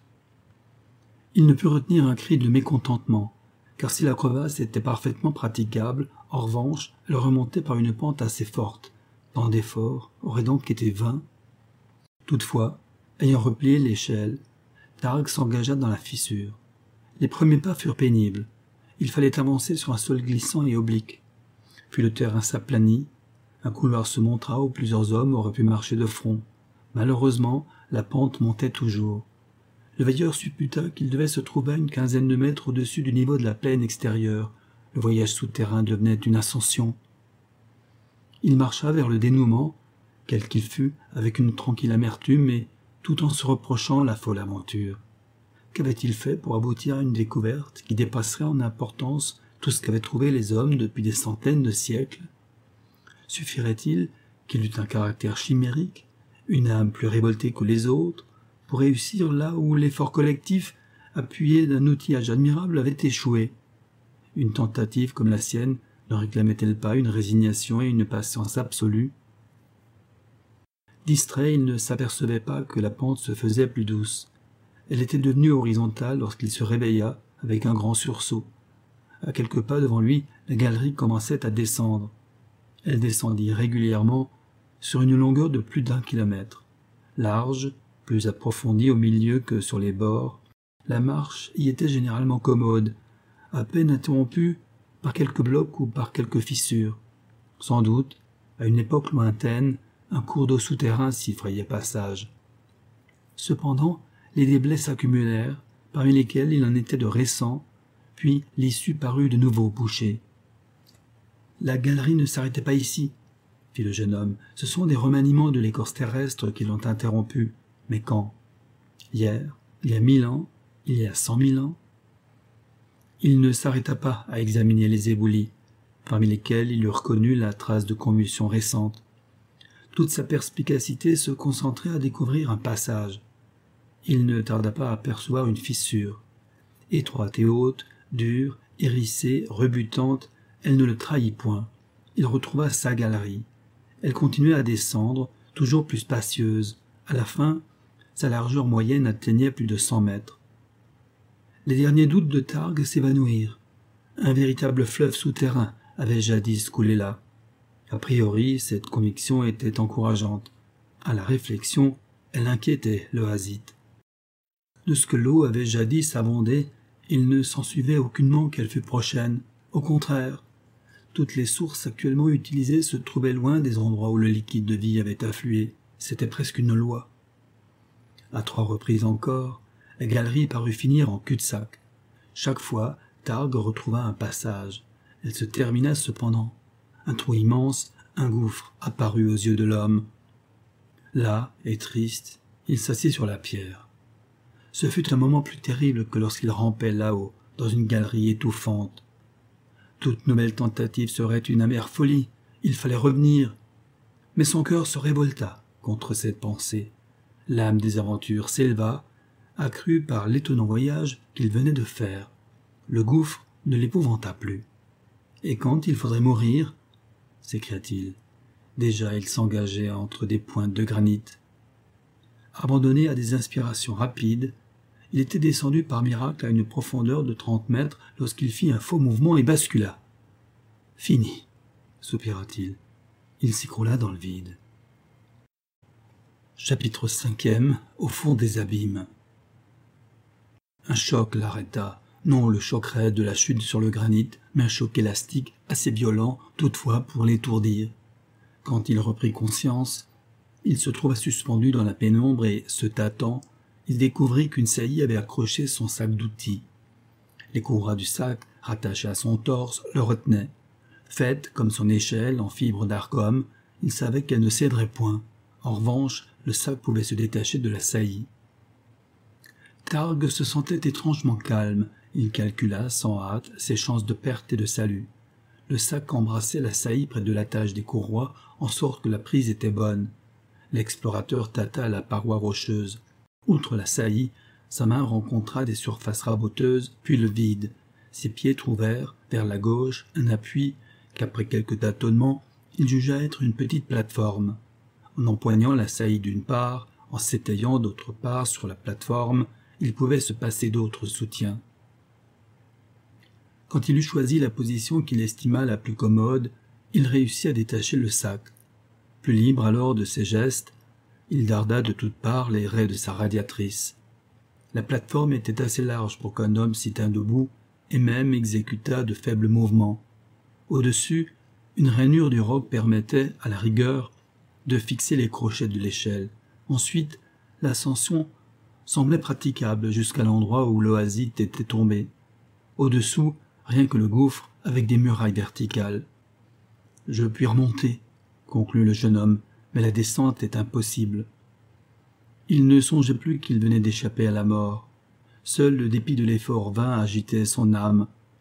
Avec un long soupir, il lâcha la saillie et s'accrochant aux aspérités, il réussit à s'établir sur la plateforme. Ses tempes bourdonnaient. Une torpeur tenait ses membres et son cerveau. Son découragement était si lourd qu'il se sentait peu à peu succomber à l'appel vertigineux de l'abîme. Quand il se ranima, il promena instinctivement ses doigts sous la muraille granitique et s'aperçut de nouveau qu'elle se dérobait vers la moitié de sa hauteur. Il se baissa alors, il poussa un faible cri. La plateforme se trouvait à l'entrée d'une cavité que les raies de la radiatrice révélèrent considérables. Il eut un rire silencieux. S'il allait à la défaite, du moins n'aurait-il pas couru une aventure qui ne valait pas la peine d'être tentée? S'assurant qu'aucun outil ne lui manquait, et surtout que l'échelle d'Arcom était en bon ordre, il s'engagea dans la caverne. Elle étalait une voûte de cristal de roche et de gemmes.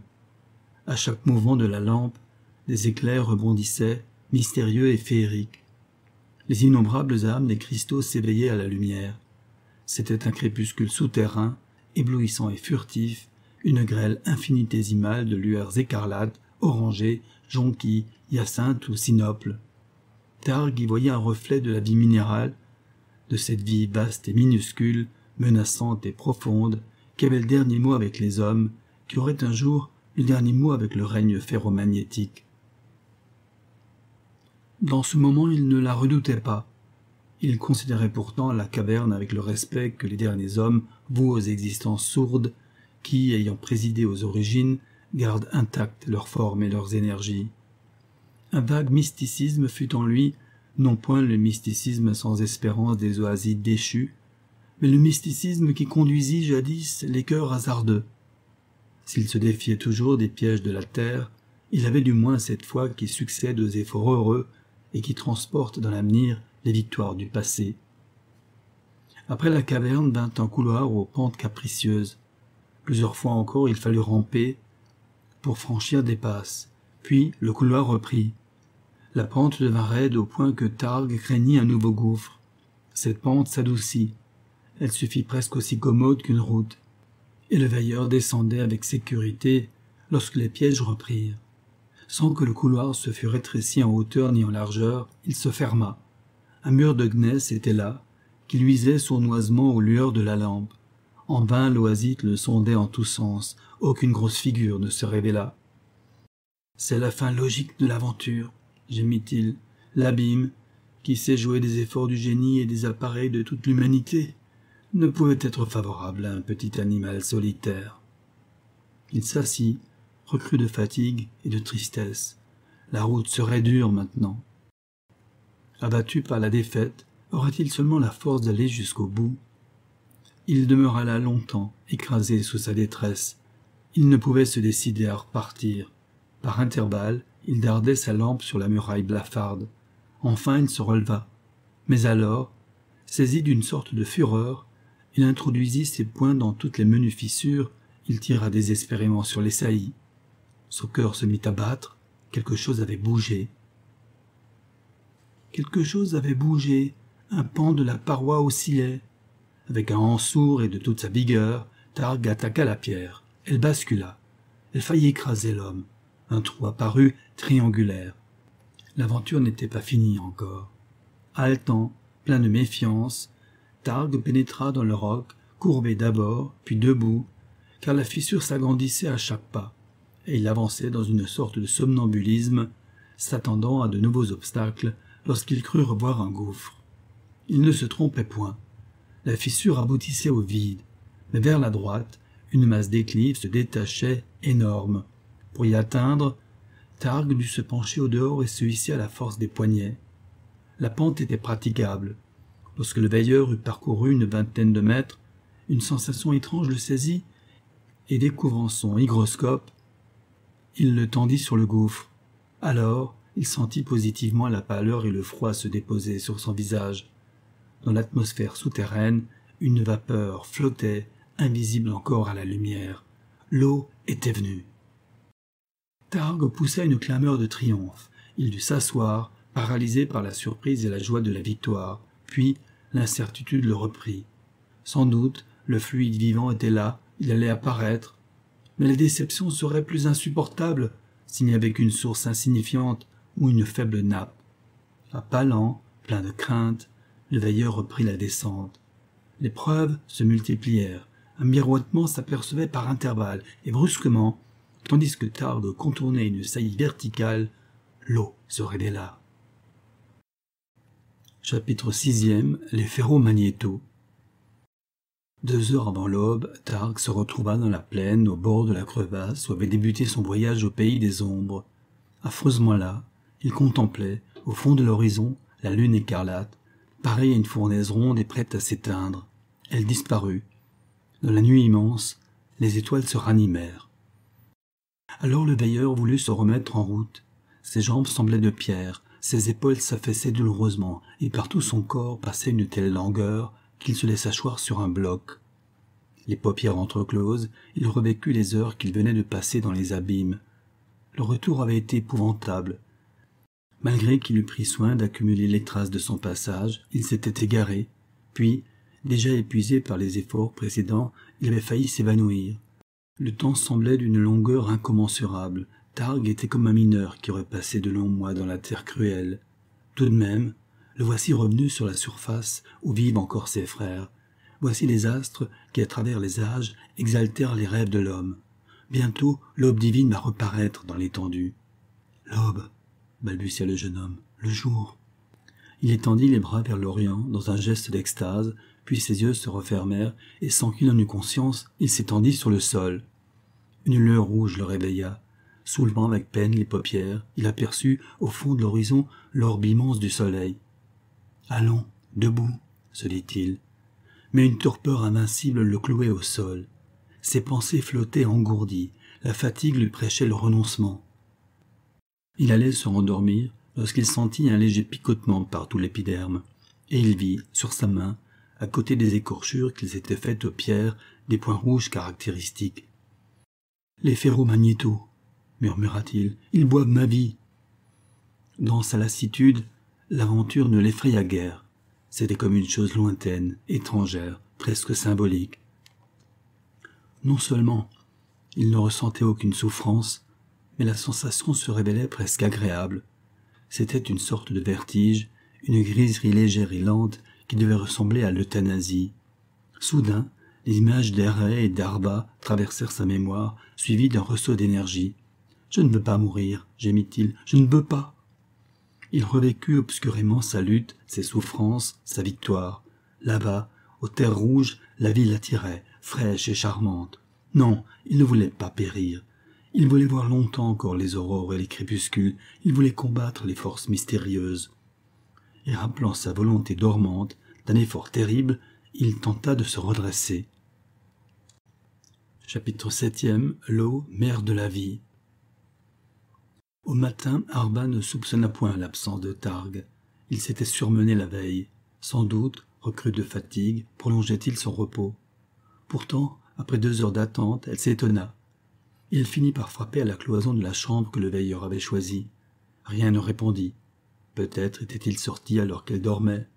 Elle frappa encore, puis elle poussa sur le commutateur de la porte. Celle-ci, en s'enroulant, découvrit une chambre vide. La jeune fille y entra et vit toutes choses disposées en bon ordre. Le lit d'Arcom était relevé contre la muraille, les objets de toilette intacts. Rien n'annonçait la présence récente d'un homme, et quelque appréhension serra le cœur de la visiteuse. Elle alla trouver Mano. Tous deux interrogèrent les oiseaux et les hommes sans obtenir une réponse utile. C'était anormal, peut-être inquiétant. Car l'oasis, après le tremblement de terre, demeurait pleine de pièges. Targ pouvait être tombé dans une fissure ou avoir été surpris par un éboulement. Plutôt est-il sorti le grand matin, fit l'optimiste Mano, et comme il est homme d'ordre, il aura d'abord rangé sa chambre. Allons à la découverte. Arva restait anxieuse. Comme les communications étaient devenues incertaines, que beaucoup d'ondifères avaient été renversés malgré l'aide des oiseaux, les recherches n'avançaient point. Vers midi, Arba errait tristement parmi les décombres aux confins de l'oasis et du désert, lorsqu'un essaim d'oiseaux parut, avec de longs gris, Targ était retrouvé. Elle n'eut qu'à monter sur l'enceinte, elle le vit qui venait, lointain encore, d'un pas lourd. Son vêtement était déchiré. Des estafilades lui balafraient le cou, le visage et les mains. Tout son corps exprimait la fatigue, le regard seul conservait sa fraîcheur. D'où viens-tu? cria Arba. Il répondit Je viens de la terre profonde. Mais il n'en voulut pas dire davantage.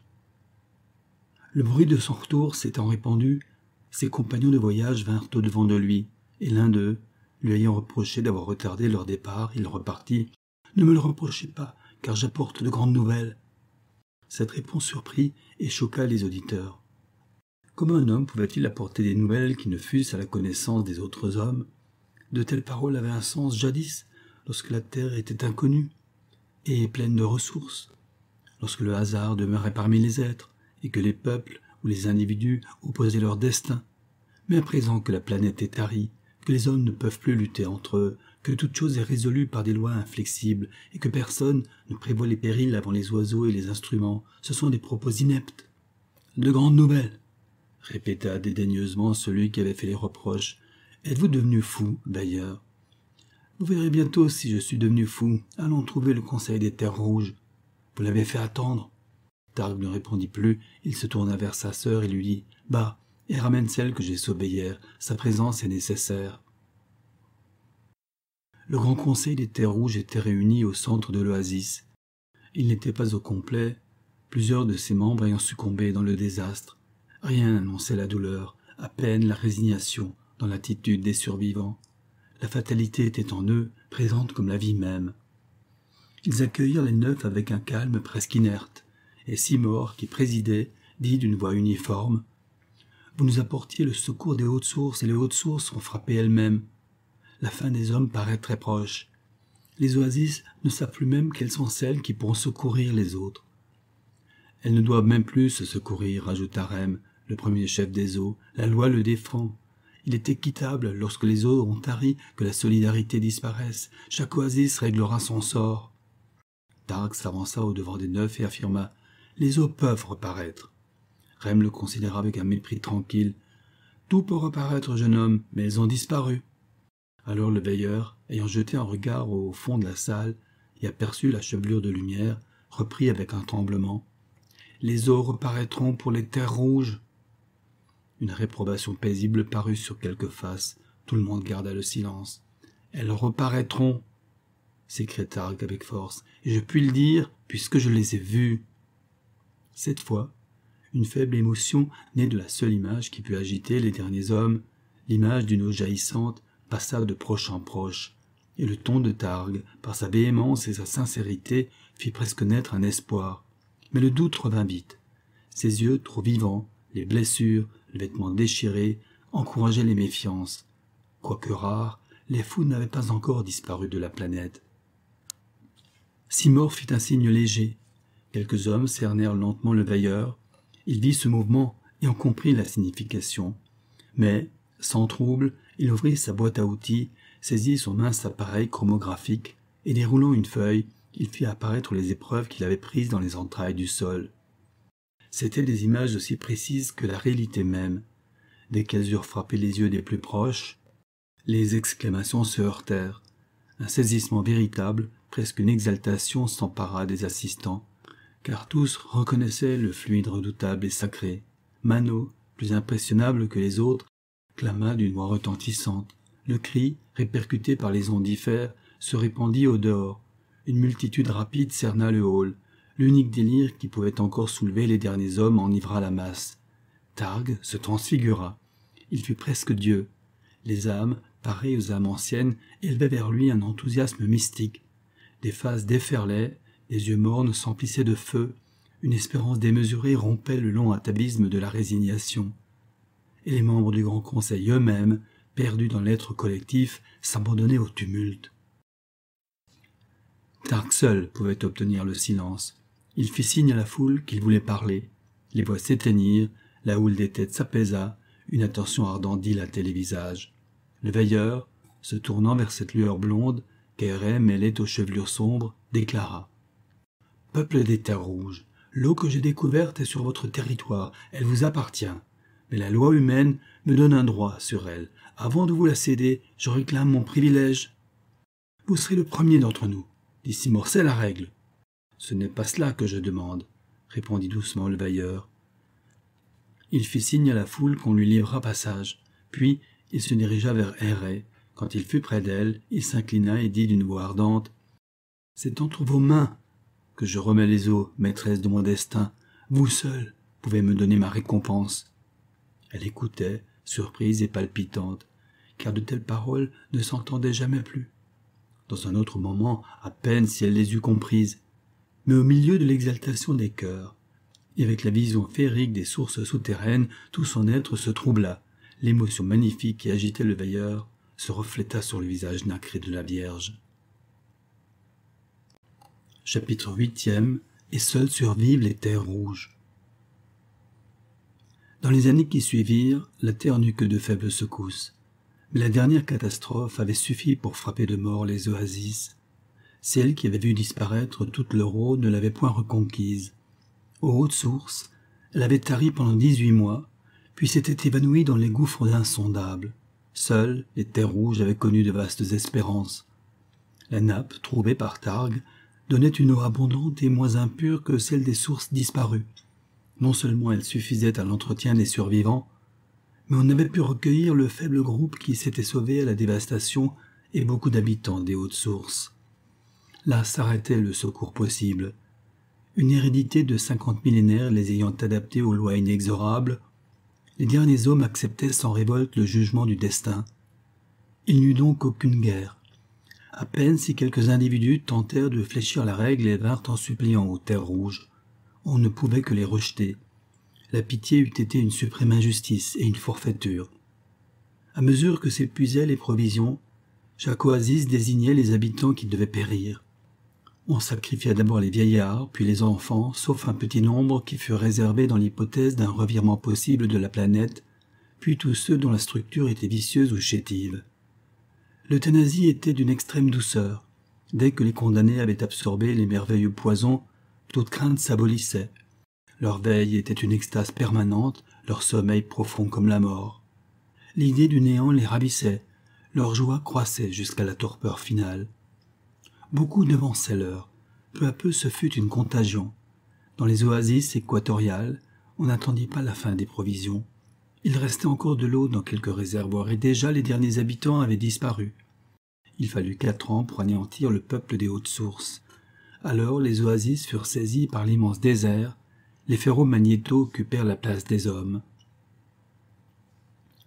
Après la découverte de Targ, les terres rouges prospérèrent. On avait reconstitué l'oasis vers l'est, dans un territoire où la rareté des ferromagnétos rendait leur destruction facile. Les constructions, le défrichement, le captage des eaux se firent en six mois. La première récolte fut belle, la seconde merveilleuse. Malgré la mort successive des autres communautés, les hommes de l'oasis rouge vivaient dans une sorte d'espérance. N'était-il pas la peuplade élue, celle en faveur de qui, pour la première fois depuis cent siècles, la loi implacable avait fléchi Targ entretenait cet état des âmes. Son influence était grande. Il avait l'attrait des créatures triomphantes et leur prestige symbolique. Cependant, sa victoire n'avait impressionné personne autant que lui-même. Il voyait une obscure récompense et, plus encore, une confirmation de sa foi. Son esprit d'aventure s'épanouissait. Il eut des aspirations presque comparables à celles des ancêtres héroïques, et l'amour qu'il ressentait pour Héré et les deux enfants nés d'elle se mêlait de rêves dont il n'osait parler à personne, hormis sa femme ou sa sœur, car il les savait incompréhensibles aux derniers hommes. Manu ignorait ses fièvres, sa vie restait directe. Il ne songeait guère au passé, moins encore à l'avenir. Il goûtait la douceur uniforme des jours. Il vivait auprès de sa femme, Arva, une existence aussi insoucieuse que celle des oiseaux argentés dont les groupes, chaque matin, planaient sur l'oasis. Comme ses premiers enfants, à cause de leur belle structure, avaient été parmi les émigrants accueillis aux terres rouges, à peine si une mélancolie fugitive le saisissait en songeant au dépérissement des hautes sources. Rebours, ce dépérissement tourmentait Targ. Maintes fois son planeur le conduisit à l'oasis natale. Il cherchait l'eau avec acharnement, il s'éloignait des routes protectrices. Il visitait des étendues terribles où les ferromagnétos vivent la vie des jeunes règnes, avec quelques hommes de l'oasis, il avait sondé sans gouffre. Quoique ses recherches demeurassent vaines, Targ ne se décourageait point. Il enseignait qu'il faut mériter les découvertes par des efforts opiniâtres et de longue patience. Chapitre 9 L'eau fugitive Un jour qu'il remenait des solitudes, Targ, du haut de son planeur, aperçut une foule près du grand réservoir. À l'aide de son télescope, il discerna les chefs des eaux et les membres du Grand Conseil. Quelques mineurs surgissaient des puits de captage. Un groupe d'oiseaux vint à la rencontre du planeur. Par eux, Targ sut que la source inspirait des inquiétudes. Il atterrit, vite enveloppé d'une foule frémissante qui mettait en lui sa confiance. Ses os se glacèrent lorsqu'il entendit Mano lui dire Les eaux ont baissé. Toutes les voix confirmaient la triste nouvelle. Il questionna Rem, le premier chef des eaux, qui répondit le niveau était vérifié au bord de la nappe même, la baisse est de six mètres. Entre tous, le visage de Rem était immobile. La joie, la tristesse, la crainte, le désir n'apparaissaient jamais sur ses lèvres froides ni dans ses yeux pareils à deux fragments de bronze, et dont on voyait à peine la sclérotique. Sa science professionnelle était parfaite. Il possédait toute la tradition des capteurs de sources. La nappe n'est pas immuable, remarqua Targ. C'est exact mais les écarts normaux ne dépassent jamais deux mètres et jamais ces écarts ne furent brusques. Savez-vous avec certitude s'ils le sont maintenant? Oui, les enregistreurs ont été vérifiés, leur marche est normale, ils ne décelaient rien encore ce matin. C'est vers le milieu du jour que la baisse a commencé. Elle a donc atteint plus d'un mètre cinquante à l'heure. Son œil minéral demeurait fixe, sa main n'avait pas un geste, l'on voyait à peine remuer ses lèvres, les yeux de Targue palpitaient comme son cœur. D'après les plongeurs, fit aucune fissure nouvelle ne s'est formée dans le lit du lac. Le mal vient donc des sources. On peut faire trois hypothèses principales. Les sources sont obstruées, elles sont détournées de leur voie, ou elles sont taries. Nous conservons une espérance. De sa bouche, le mot espérance tombait comme un bloc de glace.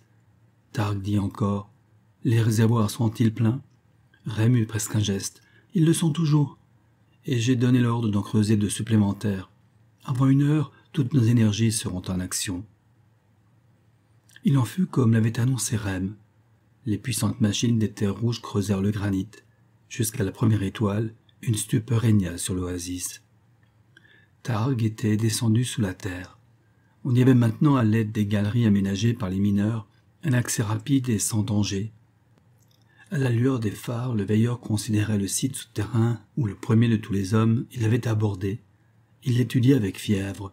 Deux sources nourrissaient le lac. La première débouchait à 26 mètres de profondeur, la deuxième à 24 mètres. Les plongeurs avaient pu pénétrer dans l'une, mais à peine. L'autre se trouvait trop étroite. Pour obtenir quelques notions complémentaires, on avait tenté des travaux dans le roc. Un éboulement fit naître des craintes. Un remaniement téméraire ne pouvait-il déterminer des fissures par où les os se perdraient?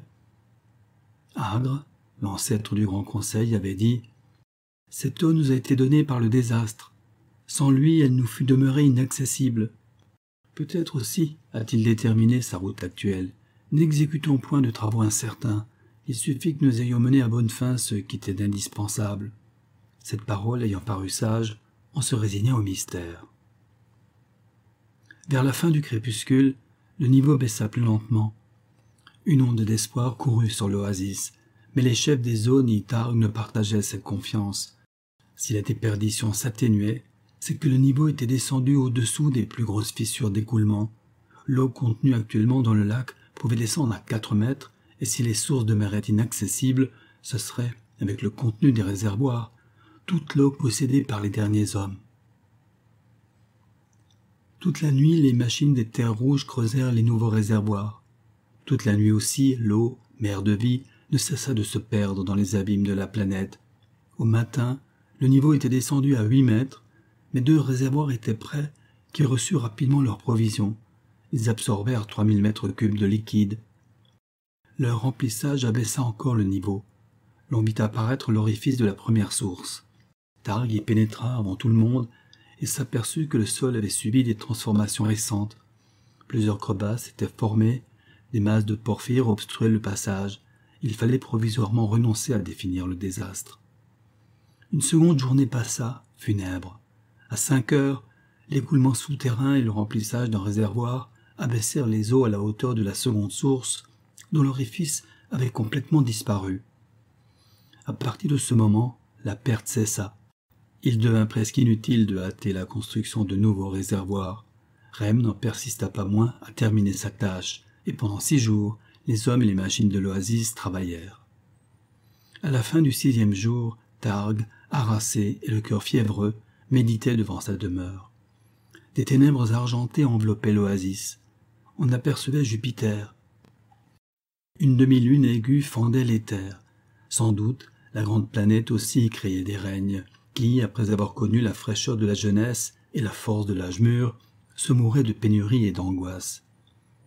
Heré était venu.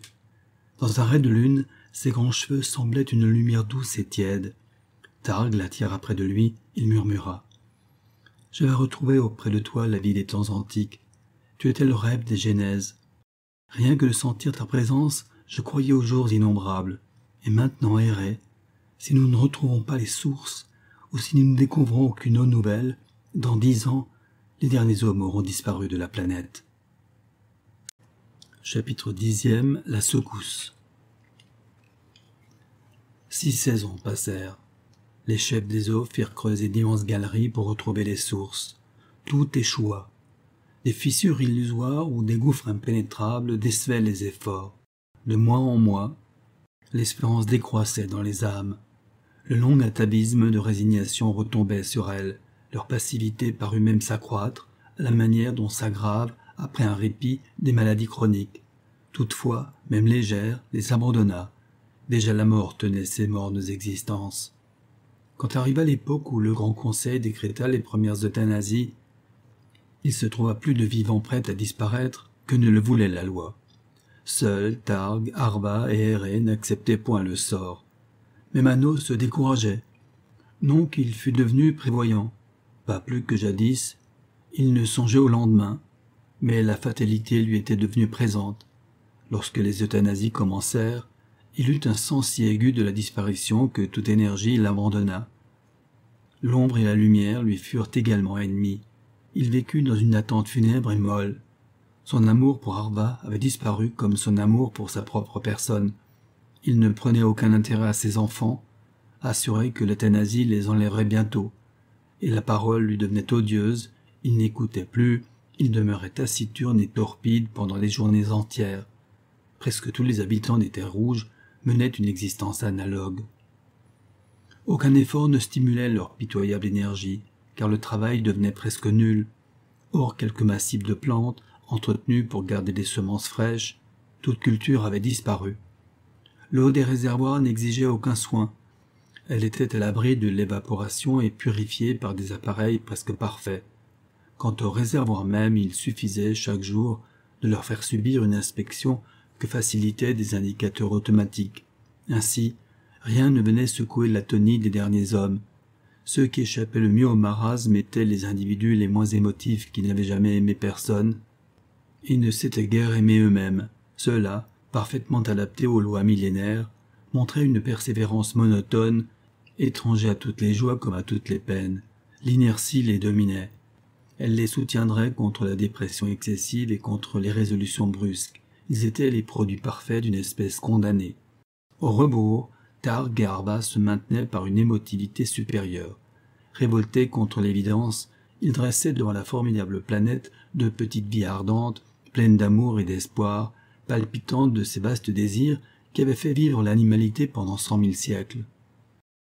Le veilleur n'avait abandonné aucune de ses recherches. Il tenait soigneusement en état une série de planeurs et de motrices, mais il ne laissait pas tomber en ruine les principaux planétaires et veillait sur les appareils sismiques. Or, un soir, après un voyage vers la dévastation, Targ veillait seul dans la nuit. À travers le métal transparent de sa fenêtre, une constellation se montrait qui, au temps des fables, se nommait le grand chien. Elle comptait la plus étincelante des étoiles, un soleil bien plus vaste que notre soleil. Targ vers elle son désir inextinguible, il songeait à ce qu'il avait vu, vers le milieu du jour, tandis qu'il planait près du sol. C'était dans une plaine excessivement morne, où se dressaient à peine quelques blocs solitaires. Les ferromagnétos y dessinaient de toutes parts leurs agglomérations violettes. Il prenait à peine garde, lorsqu'au sud, sur une surface jaune claire, il aperçut une race qu'il ne connaissait point encore. Elle produisait des individus de grande taille, chacun formé de dix-huit groupes. Quelques-uns atteignaient une longueur totale de trois mètres. Targ calcula que la masse des plus puissants ne devait pas être inférieure à quarante kilogrammes. Ils se déplaçaient bien plus facilement que les plus rapides ferromagnétos connus jusqu'alors. En fait, leur vitesse atteignait un demi-kilomètre par heure. C'est effrayant, murmura le veilleur. S'ils pénétraient dans l'oasis, ne serions-nous pas vaincus? Le moindre hiatus dans l'enceinte ferait courir un danger mortel. Il frissonna. Une tendresse inquiète le mena dans les chambres voisines. À la lueur orange d'un radiant, il contempla l'étonnante chevelure lumineuse et le visage frais des enfants. Son cœur fondait. Rien que de les voir vivre, il ne pouvait concevoir la fin des hommes. Et quoi? La jeunesse, la puissance mystérieuse des générations sont en eux, si pleines de sève, et tout va s'évanouir. Qu'une race cacochime, lentement brisée par la décadence, en fût là, ce serait logique. Mais eux, mais ces chairs aussi jolies et aussi neuves que celles des hommes d'avant, les radioactives. Comme il s'en revenait, rêveur, une secousse légère agita le sol. À peine s'il eut le temps de s'en apercevoir et déjà le calme immense retombait sur l'oasis. Mais Targ était plein de méfiance. Il attendit quelque temps, l'oreille penchée, aux écoutes. Tout demeurait paisible. Les masses grisâtres du site, profilées à la lueur poudreuse des étoiles, apparaissaient immuables et dans le ciel, implacablement pur, l'aigle, Pégase, Persée, le Sagittaire, inscrivait sur le cadran de l'infini les minutes passagères. Me suis-je trompé? Songeait le veilleur, ou bien la secousse serait-elle vraiment insignifiante? Il haussait les épaules avec un léger frisson. Comment osait-il seulement penser qu'une secousse de la terre pût être insignifiante? La plus infime est pleine du plus menaçant mystère. Soucieux, il alla consulter les sismographes. L'appareil 1 avait enregistré la fine secousse, un trait léger et à peine long d'un millimètre. L'appareil 2 n'annonçait aucune suite au phénomène. Targ se rendit jusqu'à la maison des oiseaux, on n'en conservait plus qu'une vingtaine. À son arrivée, tous dormaient. Ils dressèrent à peine la tête lorsque le veilleur fit jaillir la lumière. Donc, la secousse avait dû les agiter à peine pendant un moment très bref, et ils n'en prévoyaient pas une seconde. Cependant, Targ crut devoir avertir le chef d'éveil. Cet homme, personnage inerte et au nerf tardif, n'avait rien perçu. Je vais faire ma ronde, déclara-t-il. Nous vérifierons d'heure en heure les niveaux. Ces paroles rassurèrent Targ. Chapitre onzième Les fugitifs Targ dormait encore lorsqu'on lui toucha l'épaule. Comme il ouvrait les yeux, il vit sa sœur Arva, toute pâle, qui le regardait. C'était le signe certain d'un malheur. Il se dressa d'un bond. Que se passe-t-il? Des choses redoutables, répondit la jeune femme. Tu sais qu'il y a eu cette nuit un tremblement de terre, puisque c'est toi-même qui l'as signalé. Une secousse très légère, si légère que personne à part toi ne s'en était aperçu. Mais ses suites sont terribles. Le haut du grand réservoir a disparu, et le réservoir du sud a trois grandes fissures. Targ était devenu aussi pâle qu'Arba. Il dit, rauque. On n'a donc pas vérifié les niveaux Si, jusqu'au matin, les niveaux n'ont pas varié. Au matin seulement, le grand réservoir s'est brusquement effondré. En dix minutes, l'eau était perdue. Dans le réservoir du sud, les fissures se sont déclarées il y a une demi-heure. On pourra tout au plus sauver le tiers du contenu. Targ avait la tête basse et les épaules rentrées. Il était comme un homme qui va s'écrouler. Il murmura, plein d'horreur. Est-ce enfin la mort des hommes? La catastrophe était complète. Comme on avait épuisé pour les besoins de l'oasis tous les réservoirs de granit, hors ceux que venait de frapper l'accident, il ne restait d'eau que celle contenait dans les bassins d'Arcom. Elle suffirait à désaltérer cinq ou six cents créatures humaines pendant une année. Le grand conseil se réunit. Ce fut une assemblée glaciale et presque taciturne. Les hommes qui la composaient, à part Targ, étaient parvenus à l'état de résignation parfaite. Il n'y eut guère de délibération, rien que la lecture des lois et un calcul basé sur des données invariables. Aussi, les résolutions furent-elles simples, nettes, impitoyables? Rem, grand chef des eaux, les résuma. La population des terres rouges se monte encore à sept mille habitants. Six mille doivent aujourd'hui même se soumettre à l'euthanasie.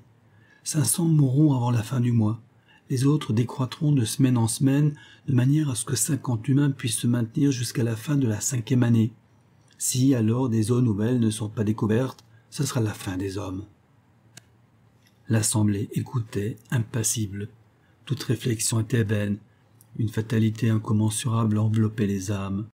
Et Rem dit encore les hommes et les femmes ayant dépassé quarante ans ne doivent pas survivre. À part cinquante, tous accepteront l'euthanasie aujourd'hui même. Pour les enfants, neuf familles sur dix n'en conserveront point. Les autres en garderont un seul. Le choix des adultes est fixé d'avance. Nous n'aurons qu'à consulter les listes de structures. Une faible émotion agita l'assemblée. Puis les têtes s'inclinèrent en signe de soumission, et la foule du dehors à qui les ondifères avaient communiqué la délibération se taisait, à peine si quelque mélancolie assombrissait les plus jeunes. Mais Targ ne se résignait point. Il rejoignit d'un élan sa demeure, où Arva et Héré l'attendaient déjà, frémissante. Elle tenait contre elle leurs enfants. L'émotion les soulevait, l'émotion jeune et tenace, source de l'antique vie et des vastes avenirs. Près d'elle, Mano rêvassait. Leur trouble ne l'avait surpris qu'une minute. Le fatalisme était sur ses épaules comme un roc. À la vue de Targ, Arva s'écria. Je ne peux pas, je ne peux pas, nous ne mourrons pas ainsi. Tu as raison, répliqua Targ, nous tiendrons tête à l'infortune. Mano sortit de sa torpeur pour dire Et que ferez-vous? La mort est plus proche que si nous avions cent ans de vie. N'importe, cria Targ, nous partirons. La terre est vide pour les hommes, fit encore Mano. Elle vous tuera dans la douleur, Ici, du moins, la fin sera douce. Targ ne l'écoutait plus. L'urgence de l'action l'absorbait. Il fallait fuir avant le milieu du jour, heure fixée pour le sacrifice. Ayant visité avec Arval les planeurs et les motrices, il fit son choix. Puis, il répartit entre les appareils la provision d'eau et les vivres qu'il avait en réserve, tandis qu'Arba emmagasinait l'énergie. Leur travail fut prompt. Avant neuf heures, tout était prêt. Il retrouva Mano toujours plongé dans sa torpeur et Harry qui avait rassemblé les vêtements utiles. Mano, dit-il en touchant l'épaule de son beau-frère. Nous allons partir, viens. Mano haussa lentement les épaules. Je ne veux pas périr dans le désert, déclara-t-il. Arva se jeta sur lui et l'étreignit de toute sa tendresse. Un peu de son ancien amour réchauffa l'homme, mais tout de suite, ressaisi par l'inévitable, Je ne veux pas, dit-il. Tous le supplièrent longtemps. Targ essaya même de l'entraîner de vive force. Mano résistait avec la puissance invincible de l'inertie. Comme l'heure avançait, on déchargea de ses provisions le quatrième planeur, et après une prière suprême, Targ donna le signal du départ. Les avions s'élevèrent dans le soleil. Arva jeta un long regard sur la demeure où son compagnon attendait l'euthanasie, puis, secouée de sanglots, elle scia sur les solitudes sans bornes. Chapitre XII Vers les oasis équatoriales Targ se dirigeait vers les oasis équatoriales, les autres ne recelaient que la mort. Au cours de ses explorations, il avait visité la désolation, les hautes sources, la grande combe, les sables bleus, l'oasis claire et le val de soufre, elle contenait quelque nourriture, mais pas une goutte d'eau. Seules les deux équatoriales gardaient de faibles réserves. La plus proche, l'équatoriale des dunes, distante de 4500 kilomètres, pouvait être atteinte dans la matinée du lendemain. Le voyage fut abominable. Arva ne cessait de songer à la mort de Mano. Quand le soleil fut au haut de sa trajectoire, elle poussa un grand cri funèbre. C'était l'heure de l'euthanasie. Jamais plus elle ne reverrait l'homme avec qui elle avait vécu la tendre aventure. Le désert prolongeait sa vaste étendue. Pour des yeux humains, la terre était morte épouvantablement. Pourtant, l'autre vie y croissait, pour qui c'était les temps de la Genèse. On la voyait pulluler sur les plaines et les collines, redoutable et incompréhensible. Parfois, Targ l'exécrait. Parfois, une sympathie craintive s'éveillait dans son âme. N'y avait-il pas une analogie mystérieuse et même une obscure fraternité entre ces êtres et les hommes? Certes, les deux règnes étaient moins loin l'un de l'autre que chacun ne l'était du minéral inerte. Qui sait si leur conscience à la longue ne se serait pas comprise? En y songeant, Tarak soupirait, et les planeurs continuaient à scier dans l'oxygène bleu vers un inconnu si terrible que d'y songer seulement les voyageurs sentaient transir leur chair. Afin de parer aux surprises, l'halte fut décidée avant le crépuscule. Targ fit choix d'une colline surmontée d'un plateau les ferromagnétos s'y décelaient rares et d'espèces faciles à déplacer. Sur le plateau même, il y avait un roc de porphyre vert avec des creux propices. Les planeurs atterrirent. On les fixa avec des cordes d'arcom. Au reste, faits de substances choisies et d'une extrême résistance, ils étaient à peu près invulnérables. Il se trouva que le roc et ses alentours abritaient à peine quelques groupes ferromagnétiques de la plus petite taille. En un quart d'heure, ceux-ci furent expulsés et l'on put organiser le campement. Ayant pris un repas de gluten concentré et d'hydrocarbures essentiels, les fugitifs attendirent la fin du jour. Combien d'autres créatures, leurs semblables, avaient, dans l'océan immense des âges, connu des détresses analogues? Lorsque les familles rôdaient solitaires avec les massues de bois et les frêles outils de pierre, il y eut, devant l'espace féroce, des nuits où quelques humains tremblaient de faim, de froid, d'épouvante, à l'approche des lions ou des eaux déchaînées. Plus tard, les naufragés clamèrent sur des îles au désert ou sous les rocs d'une rive meurtrière. Les voyageurs se perdirent au sein des forêts carnivores ou parmi les marécages. Innombrables furent les drames de la détresse. Mais tous ces malheureux se trouvaient devant la vie sans bornes. Targ et ses compagnons n'apercevaient que la mort. Pourtant, songeait le veilleur en regardant les enfants d'Erré et ceux d'Arba, ce faible groupe contient toute l'énergie nécessaire pour refaire une humanité. Il poussa un gémissement. Les étoiles du pôle tournaient dans leur piste étroite. Les ferromagnétos phosphoraient sur la plaine. Longtemps, Targarba rêvèrent misérablement près de la famille endormie. Le lendemain, ils arrivèrent à l'équatoriale des dunes. Elle s'étendait au sein d'un désert formé jadis de sable, mais que les millénaires avaient durci. L'atterrissage glaça le cœur des arrivants. Les cadavres de ceux qui les derniers s'étaient livrés à l'euthanasie demeuraient là sans sépulture.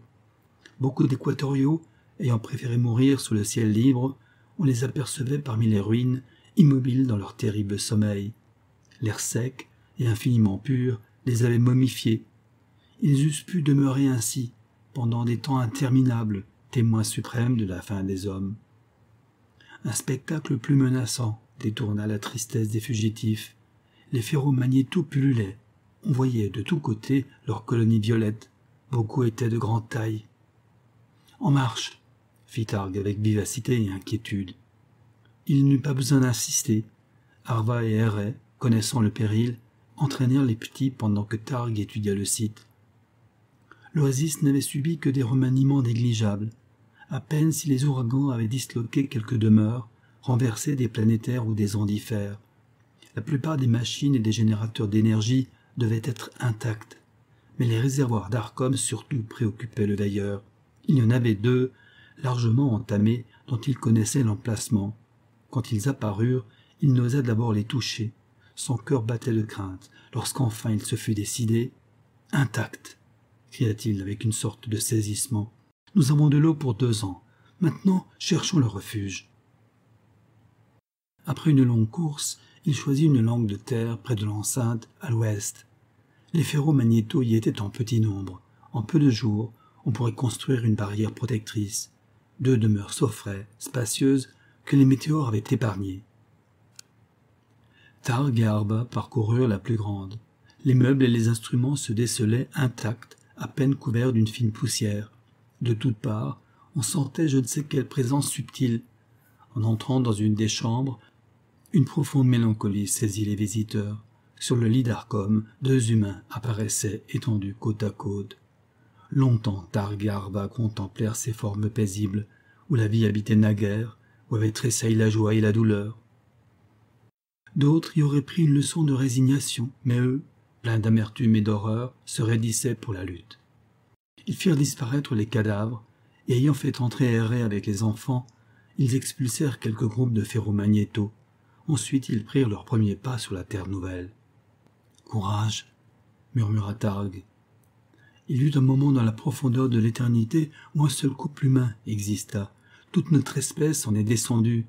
Nous sommes plus forts que ce couple, car s'il avait péri, toute l'humanité périssait. Ici, plusieurs peuvent mourir sans détruire encore toute espérance. Oui, soupira Héret, mais l'eau couvrait la terre.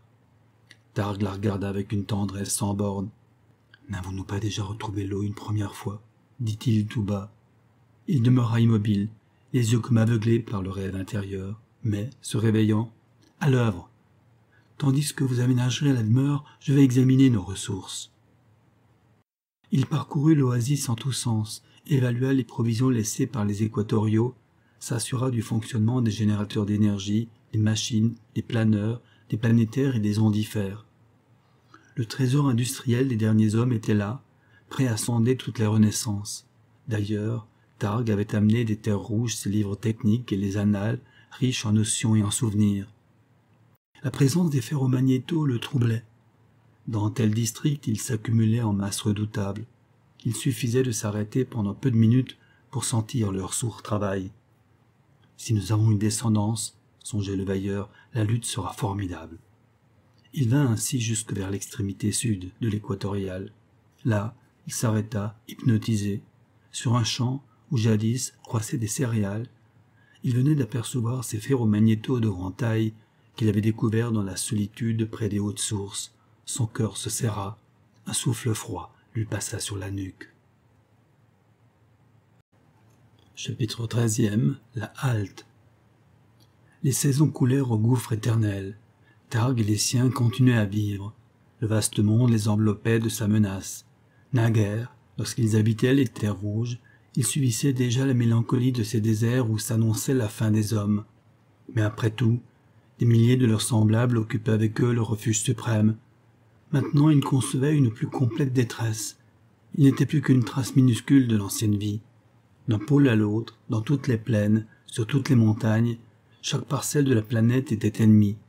Or cette autre oasis, là-bas, où l'euthanasie dévorait des créatures qui avaient, sans rémission, abandonné l'espérance. On avait enveloppé le terrain choisi d'une enceinte protectrice, consolidé encore les réservoirs d'eau, rassemblé et abrité les provisions, et Targ partait souvent à la découverte, avec Erre ou Arva, à travers l'étendue désertique. Tout en cherchant l'eau salvatrice, il amassait partout les matières hydrogénées. Elles étaient rares. L'hydrogène, dégagé en masses immenses au temps de la puissance humaine, et aussi lorsqu'on avait voulu remplacer l'eau de la nature par une eau industrielle, avaient presque disparu. Selon les annales, la plus grande partie s'était décomposée en protoatomes et disséminée dans les espaces interplanétaires. L'autre partie avait été entraînée par des réactions mal définies à des profondeurs inaccessibles. Cependant, Targ récoltait assez de substances utiles pour accroître sensiblement la provision d'eau, mais ce ne pouvait être là qu'un expédient. Les ferromagnétos surtout préoccupaient Targ, ils prospéraient. C'est qu'il y avait sous l'oasis, à peu de profondeur, une réserve considérable de fer humain. Le sol et la plaine environnante recouvraient une ville morte. Or, les ferromagnétos attiraient le fer souterrain à une distance d'autant plus grande qu'ils étaient eux-mêmes de plus forte taille. Les derniers venus, les tertiaires, comme les surnommait Targ, pouvaient ainsi, pourvu qu'ils y missent le temps, puiser à plus de huit mètres. Par surcroît, les déplacements du métal, à la longue, ouvraient dans la terre des brèches par où les tertiaires pouvaient s'introduire. Les autres ferromagnétos déterminaient des effets analogues, mais incomparablement plus faibles. D'ailleurs, ils ne descendaient jamais dans des profondeurs de plus de deux ou trois mètres. Pour les tertiaires, Targ ne tarda pas à constater qu'il n'y avait guère de limite à leur pénétration. Ils descendaient aussi loin que le permettaient les fissures. Il fallut prendre des mesures spéciales pour les empêcher de miner le sol où habitaient les deux familles. Les dragues creusèrent sous l'enceinte des galeries dont les parois furent doublées d'arcom et plaquées de bismuth. Des piliers de ciment granitique assis sur le roc assurèrent la solidité des voûtes. Ce vaste travail dura plusieurs mois. Les puissants générateurs d'énergie, les machines souples et subtiles permirent de l'exécuter sans fatigue. Il devait, selon les calculs de Targ et d'Arva, résister pendant trente ans à tous les dégâts des tertiaires, et cela dans l'hypothèse que la multiplication de ceux-ci serait très intense. Chapitre quatorzième L'euthanasie Or, après trois années, grâce à l'appoint fourni par les corps hydrogénés, la provision d'eau n'avait guère décru. Les provisions solides demeuraient abondantes, et il en existait encore dans les autres oasis, mais aucune trace de source ne s'était décelée, quoique Arva et Targ eussent sondé le désert infatigablement et à des distances énormes. Le sort des terres rouges troublait l'âme des réfugiés. Souvent, l'un ou l'autre avait lancé un appel dans le grand planétaire. Personne n'avait répondu le frère et la sœur poussèrent plusieurs fois leur voyage jusqu'à l'oasis. À cause de la loi inexorable, ils n'osaient atterrir, ils planaient. Aucun habitant ne daignait s'apercevoir de leur présence. Et ils virent que l'euthanasie accomplissait son œuvre. Beaucoup plus d'êtres que ne l'exigeait la règle avaient trépassé. Vers le trentième mois, à peine s'il demeurait une vingtaine d'habitants. Un matin d'automne, Arba et Targ partirent pour un voyage. Il comptait suivre la double route qui reliait depuis des âges immémoriaux l'équatorial des dunes aux terres rouges. En route, Targ obliquerait vers une contrée qui, dans une précédente croisière, l'avait impressionné. Campé sur un des relais refuges, Arba l'attendrait. Il communiquerait aisément, car Targ emportait un ondifère mobile qui pouvait recevoir et transmettre la voix à plus de mille kilomètres, ainsi que dans leurs précédentes explorations il communiquerait avec Héré et les enfants, tous les planétaires de l'oasis et des relais ayant été maintenus en bon ordre.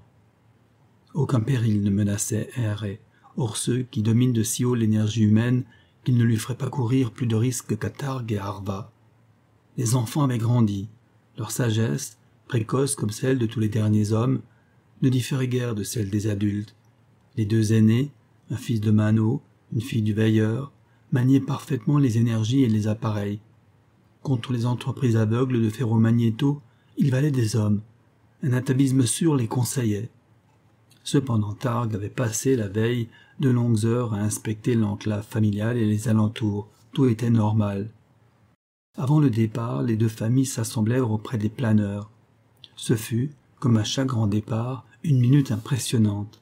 Dans la lumière horizontale, ce petit groupe était toute l'espérance humaine, toute la volonté de vivre, toute la vieille énergie des mers, des forêts, des savanes et des villes concentrées. Là-bas, aux terres rouges, ceux qui palpitaient encore n'étaient plus que des fantômes. Et Targ enveloppa sa race et la race d'Arba d'un long regard d'amour. La clarté des races blondes avait passé des sur sa fille. Les deux têtes, vêtues d'or, se touchaient presque. Quelle fraîcheur émanait d'elle. Quelle légende profonde et tendre. Les autres aussi, malgré leurs visages bistres et leurs yeux d'anthracite, avaient une singulière jeunesse, le regard ardent de Targ ou l'aptitude au bonheur de Mano.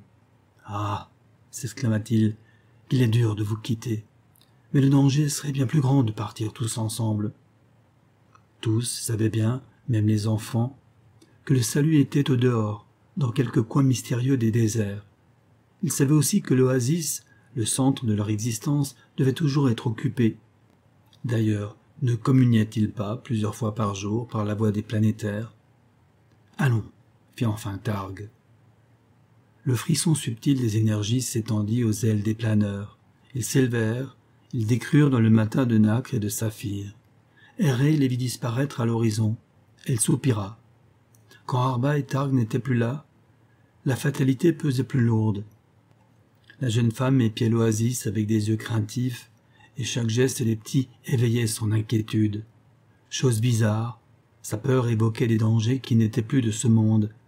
Elle ne redoutait ni le minéral, ni les ferromagnétos, elle redoutait de voir surgir des hommes inconnus, des hommes qui viendraient du fond de l'immensité inhabitable.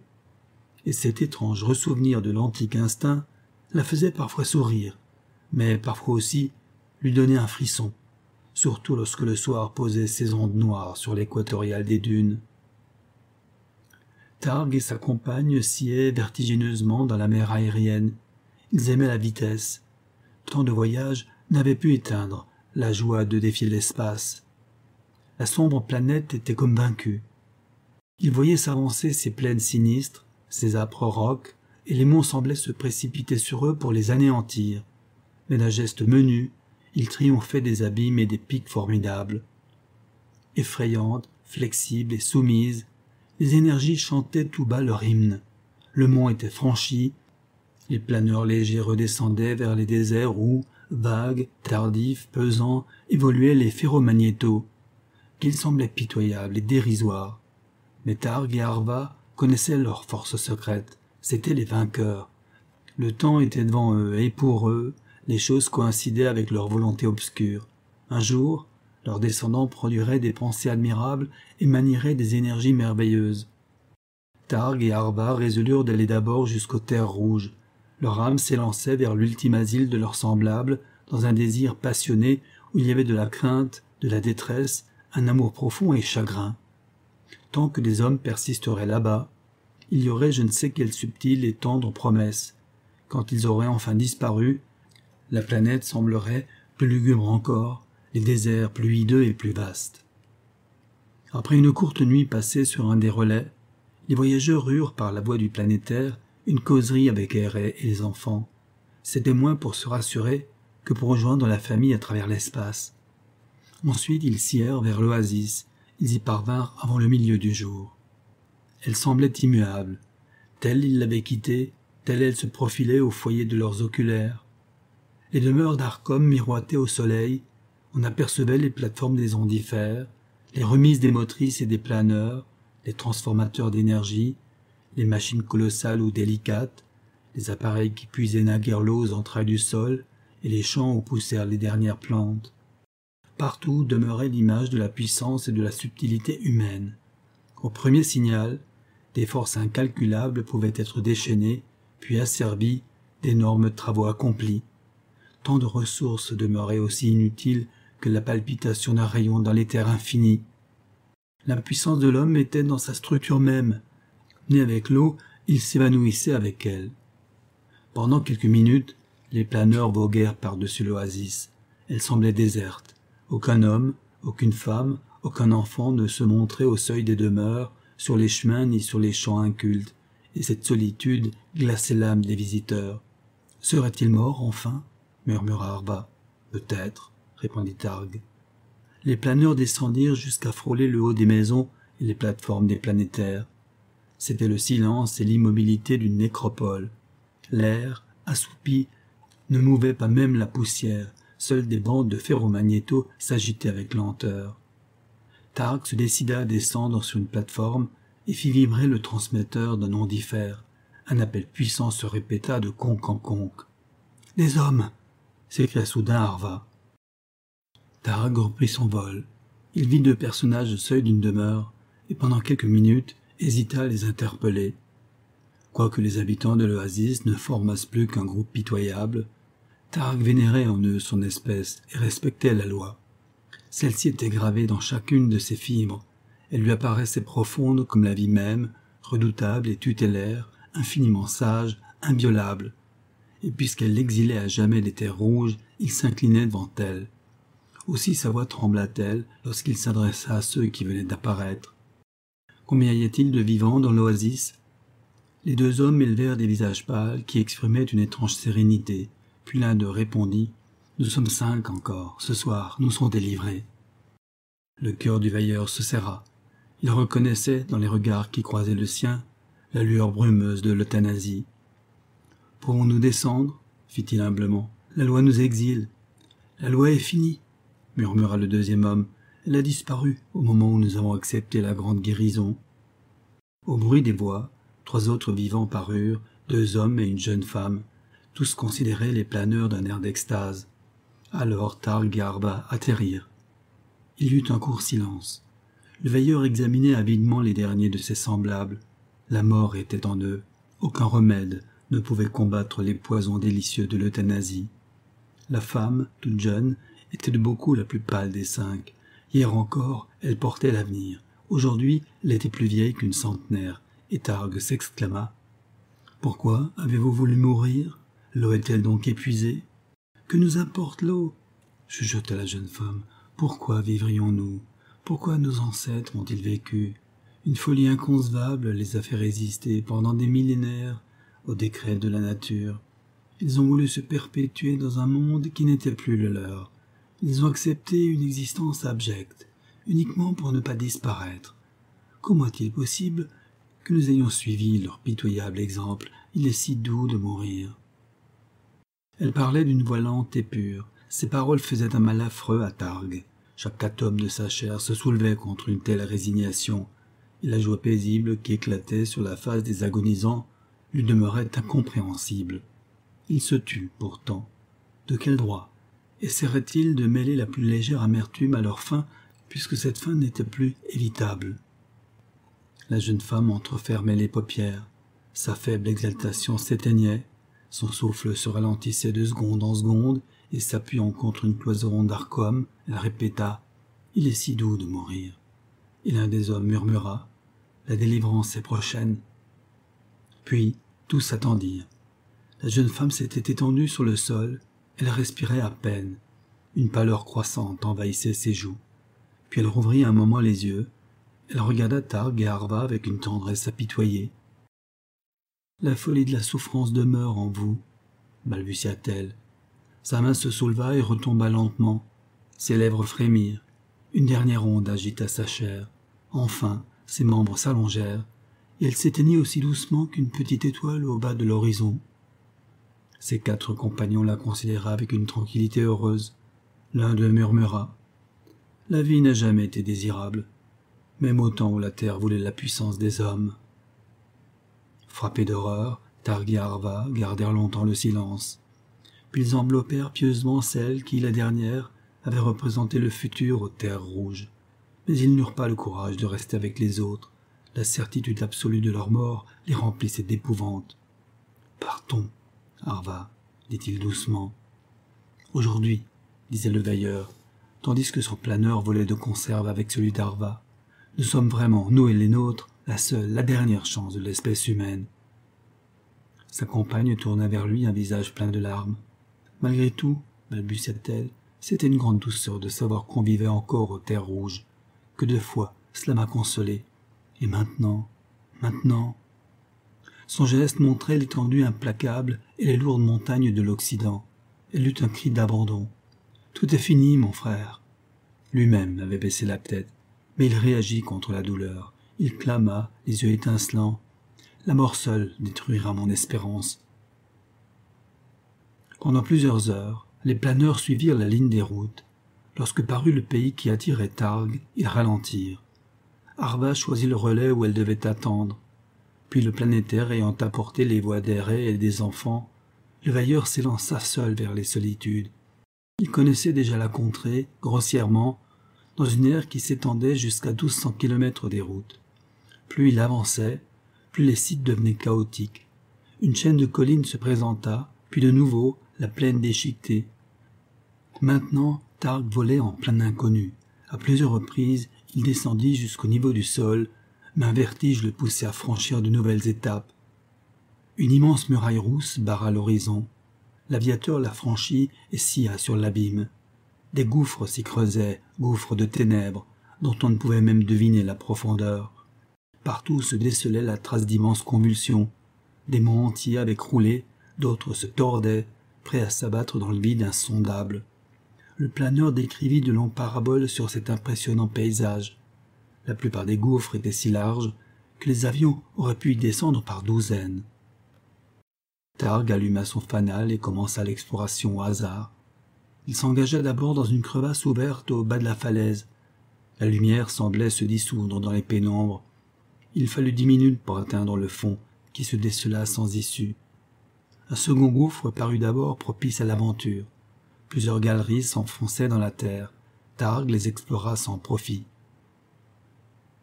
Le troisième voyage fut vertigineux. Le planeur descendit à plus de deux mille mètres avant de toucher terre. Le fond de ce trou démesuré formait un trapèze dont le plus petit côté avait deux hectomètres. Partout s'ouvraient des cavernes. Il fallait une heure pour les parcourir. Hors d'eux, tout était borné par des parois pleines. Les deux, au rebours, comportaient de nombreuses fissures, mais trop étroites pour permettre le passage d'un homme. N'importe, murmurait Targ au moment où il se disposait à abandonner la deuxième caverne. J'en reviendrai. Soudain, il eut cette impression étrange qu'il avait ressentie dix ans auparavant, le soir du grand désastre. Tirant vivement son hygroscope, il considéra l'aiguille et poussa un cri de triomphe. Il y avait de la vapeur d'eau dans la caverne. Chapitre quinzième L'enclave a disparu. Longtemps Targ marcha dans la pénombre. Toutes ses pensées étaient éparses, une joie démesurée emplissait sa chair. Lorsqu'il remint à lui, il songea. Il n'y a provisoirement rien à faire. Pour atteindre l'eau mystérieuse, il faut découvrir quelque issue ailleurs qu'au fond du gouffre, où se frayait un passage. C'est une question de temps ou une question de travail. Dans la première conjoncture, la présence d'Arva serait infiniment utile. Dans la seconde, il faudrait rejoindre l'équatorial des dunes et ramener les appareils nécessaires pour capter l'énergie et fendre les granites. Tout en faisant ces réflexions, le jeune homme avait appareillé. Bientôt, le planeur décrivit les courbes hélicoïdales qui devaient le ramener à la surface. En deux minutes, il sortait du gouffre, et tout de suite, le veilleur, orientant son ondifère mobile, lança un appel. Rien ne répondit. Étonné, il darda des ondes plus intenses. Le récepteur demeura muet. Une légère anxiété saisit Targ. Il lança l'appel circulaire qui successivement attaquait toutes les directions. Et comme le silence persistait, il commença à craindre quelques circonstances désagréables. Trois hypothèses se présentaient un accident était survenu, ou Aria avait quitté le refuge, ou enfin elle s'était endormie. Avant de lancer un dernier appel, l'explorateur détermina sa position actuelle avec une exactitude minutieuse. Ensuite, il donna aux ondes leur maximum d'intensité. Elles allaient ébranler les concrets sceptrices avec une telle force que même endormi, Arva devrait les entendre. Cette fois encore, l'étendue ne fit aucune réponse. La jeune femme avait-elle décidément quitté le refuge? Assurément, elle ne s'était pas résolue sans cause grave. De toute manière, il fallait la rejoindre. Déjà, il se rembarquait et filait à toute vitesse. En moins de trois heures, il franchit mille kilomètres. Le relais se précisait dans l'oculaire de la lunette aérienne. Il était désert, et tout autour, Targ n'apercevait personne. Arva s'était donc éloigné. Mais où? Mais pourquoi? Elle ne devait pas être loin, car son planeur demeurait à l'ancre. Les dernières minutes furent d'une longueur intolérable. Il semblait que le vélo s'esquiffe n'avança plus. Une buée couvrait les yeux du jeune homme. Enfin, le refuge fut là. Targ l'aborda par le milieu, accrocha l'appareil et se précipita. Une plainte jaillit de sa poitrine. De l'autre côté de la route, contre le talus vertical, ce qui l'avait rendu invisible, gisait Arva, elle était aussi pâle que la femme qui naguère aux terres rouges avait succombé à l'euthanasie. Targ vit avec horreur un grouillement de ferromagnéto, des tertiaires de la plus grande taille se pressaient autour d'elle. En deux gestes, Targ accrocha son échelle d'Arcom, puis, descendant auprès de la jeune femme, il la prit sur son épaule et remonta. Elle n'avait pas remué. Sa chair était inerte, et Targ, agenouillé, essaya de surprendre la palpitation du cœur. En vain. La mystérieuse énergie qui rythme l'existence semblait évanouie. Avec tremblement, le veilleur posa l'hygroscope sur les lèvres de la jeune femme. Le délicat instrument décela ce que Louis n'avait pu découvrir. Arba n'était pas morte. Mais son évanouissement était si profond, sa faiblesse si grande, qu'elle pouvait mourir d'une seconde à l'autre. La cause du mal était évidente. Elle était due, sinon uniquement, du moins pour la plus large part, à l'action des ferromagnétos. La singulière pâleur d'Arba annonçait une excessive déperdition d'hémoglobine. Heureusement, Targ ne voyageait jamais sans emporter les instruments, les stimulants et les remèdes traditionnels. Il injecta, à quelques minutes de distance, deux doses d'un cordial puissant. Le cœur se remit à battre, quoique avec une extrême faiblesse. Les lèvres d'Arva murmurèrent Les enfants, la terre. Puis elle tomba dans un sommeil que Tark savait ne pouvoir ni ne devoir combattre. Sommeil fatal et salutaire pendant lequel, de trois heures en trois heures, il injecterait quelques milligrammes de fer organique. Et il faudrait vingt-quatre heures au moins avant qu'Arva supportât un court réveil. N'importe. La plus lourde inquiétude avait disparu. Le veilleur, connaissant la santé parfaite de sa sœur, ne craignait aucune suite redoutable. Toutefois, il restait nerveux. L'événement, en somme, ne s'expliquait point. Pourquoi Arba gisait-elle au bas du talus? Avait-elle, elle, si vigilante et si adroite, fait une chute? C'était possible non probable. Que faire? Demeurer ici jusqu'à ce qu'elle eût repris ses forces Il faudrait au moins deux semaines pour la rétablir complètement. Mieux valait repartir pour l'équatorial des dunes. Rien ne pressait, au fond. L'aventure que poursuivait Targ n'était pas de celle dont l'issue dépend de quelques journées. Il se dirigea vers le grand planétaire et déchaîna les ondes d'appel. Comme là-bas, au sortir du gouffre, il n'en reçut aucune réponse. Tout de suite, une émotion terrible l'agita. Il répéta les signaux, il leur donna le maximum d'intensité. Et il devint manifeste qu'Airé et les enfants étaient pour quelque cause énigmatique, ou dans l'impossibilité d'entendre, ou dans l'incapacité de répondre. Les deux alternatives étaient également menaçantes. Des liens sûrs existaient entre l'accident d'Arba et le silence du planétaire. Une crainte intolérable rongeait la poitrine du jeune homme. Léger et tremblant, et contraint de s'appuyer contre le support du grand planétaire, il fut incapable de prendre une décision. Enfin, il se détacha, morne et résolu, examina avec une attention anxieuse tous les organes de son planeur, assujettit Arva sur le plus grand des sièges, et prit son vol. Ce fut un voyage lamentable. Il ne fit qu'une seule halte, vers le crépuscule, pour tenter encore un appel. Rien n'ayant répondu, il enveloppa étroitement Arba dans une couverture de silice laineuse et lui injecta une dose du cordial, plus massive que les premières, à peine si, dans la profondeur de son engourdissement, elle eut un faible frémissement. Toute la nuit, le planeur fendit les ténèbres étoilées. Le froid étant trop vif, Targ contourna le mont squelette.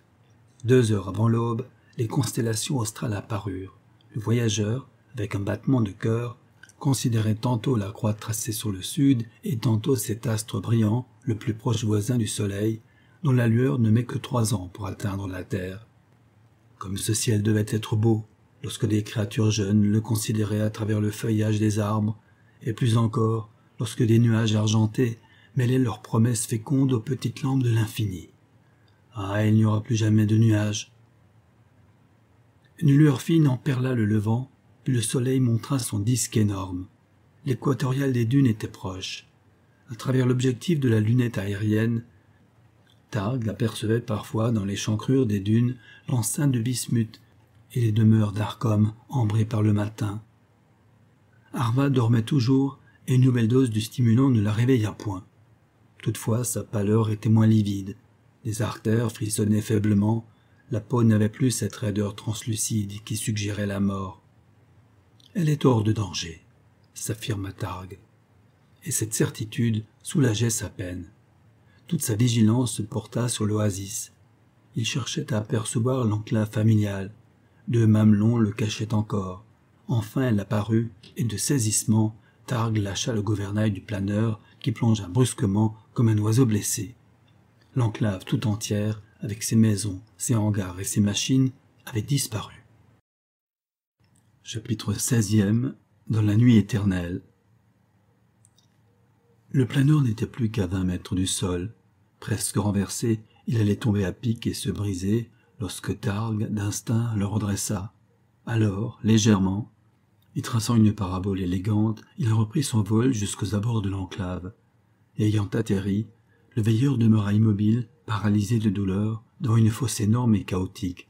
Là, gisaient sous les ténèbres de la terre les êtres qu'il aimait plus que lui-même. Pendant longtemps, les pensées rampèrent en désordre dans le cerveau du pauvre homme.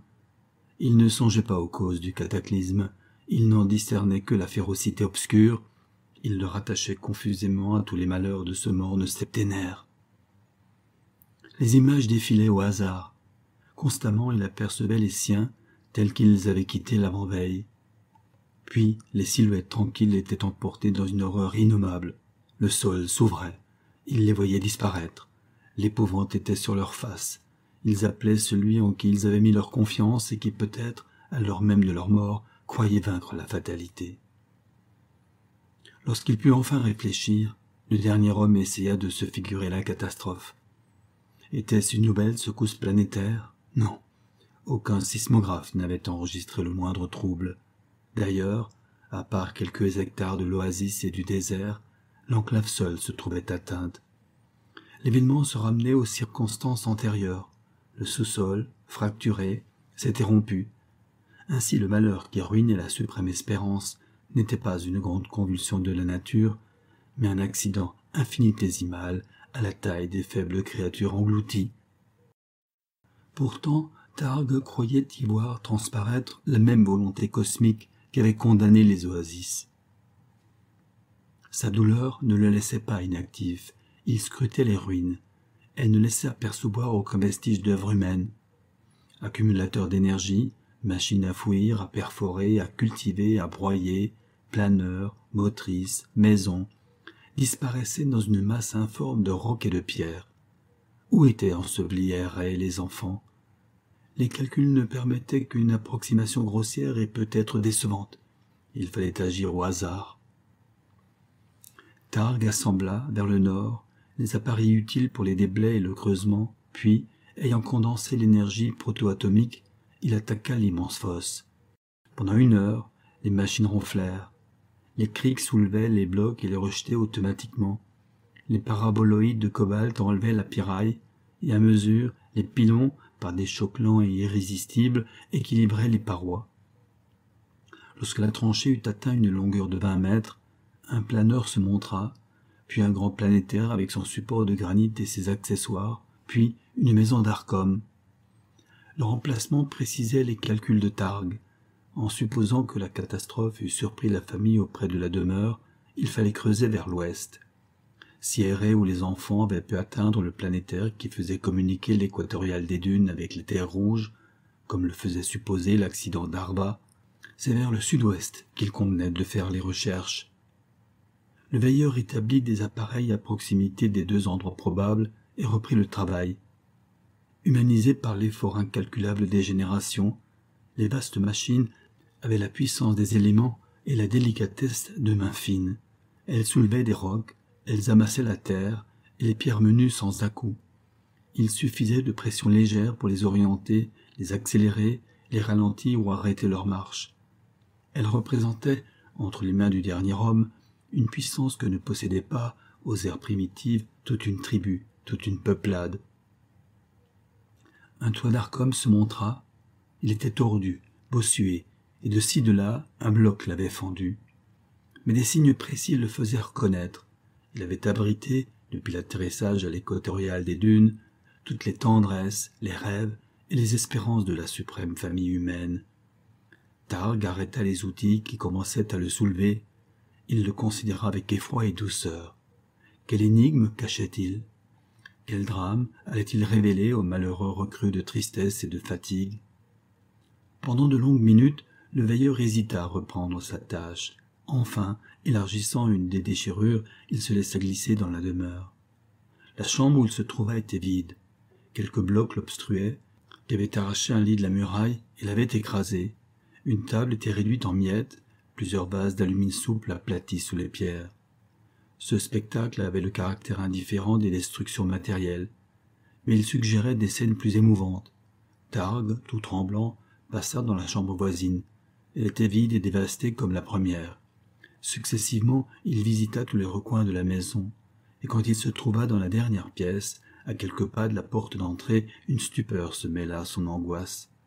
Pourtant, chuchota-t-il, il est assez naturel qu'au premier signe de danger, ils aient fui au dehors.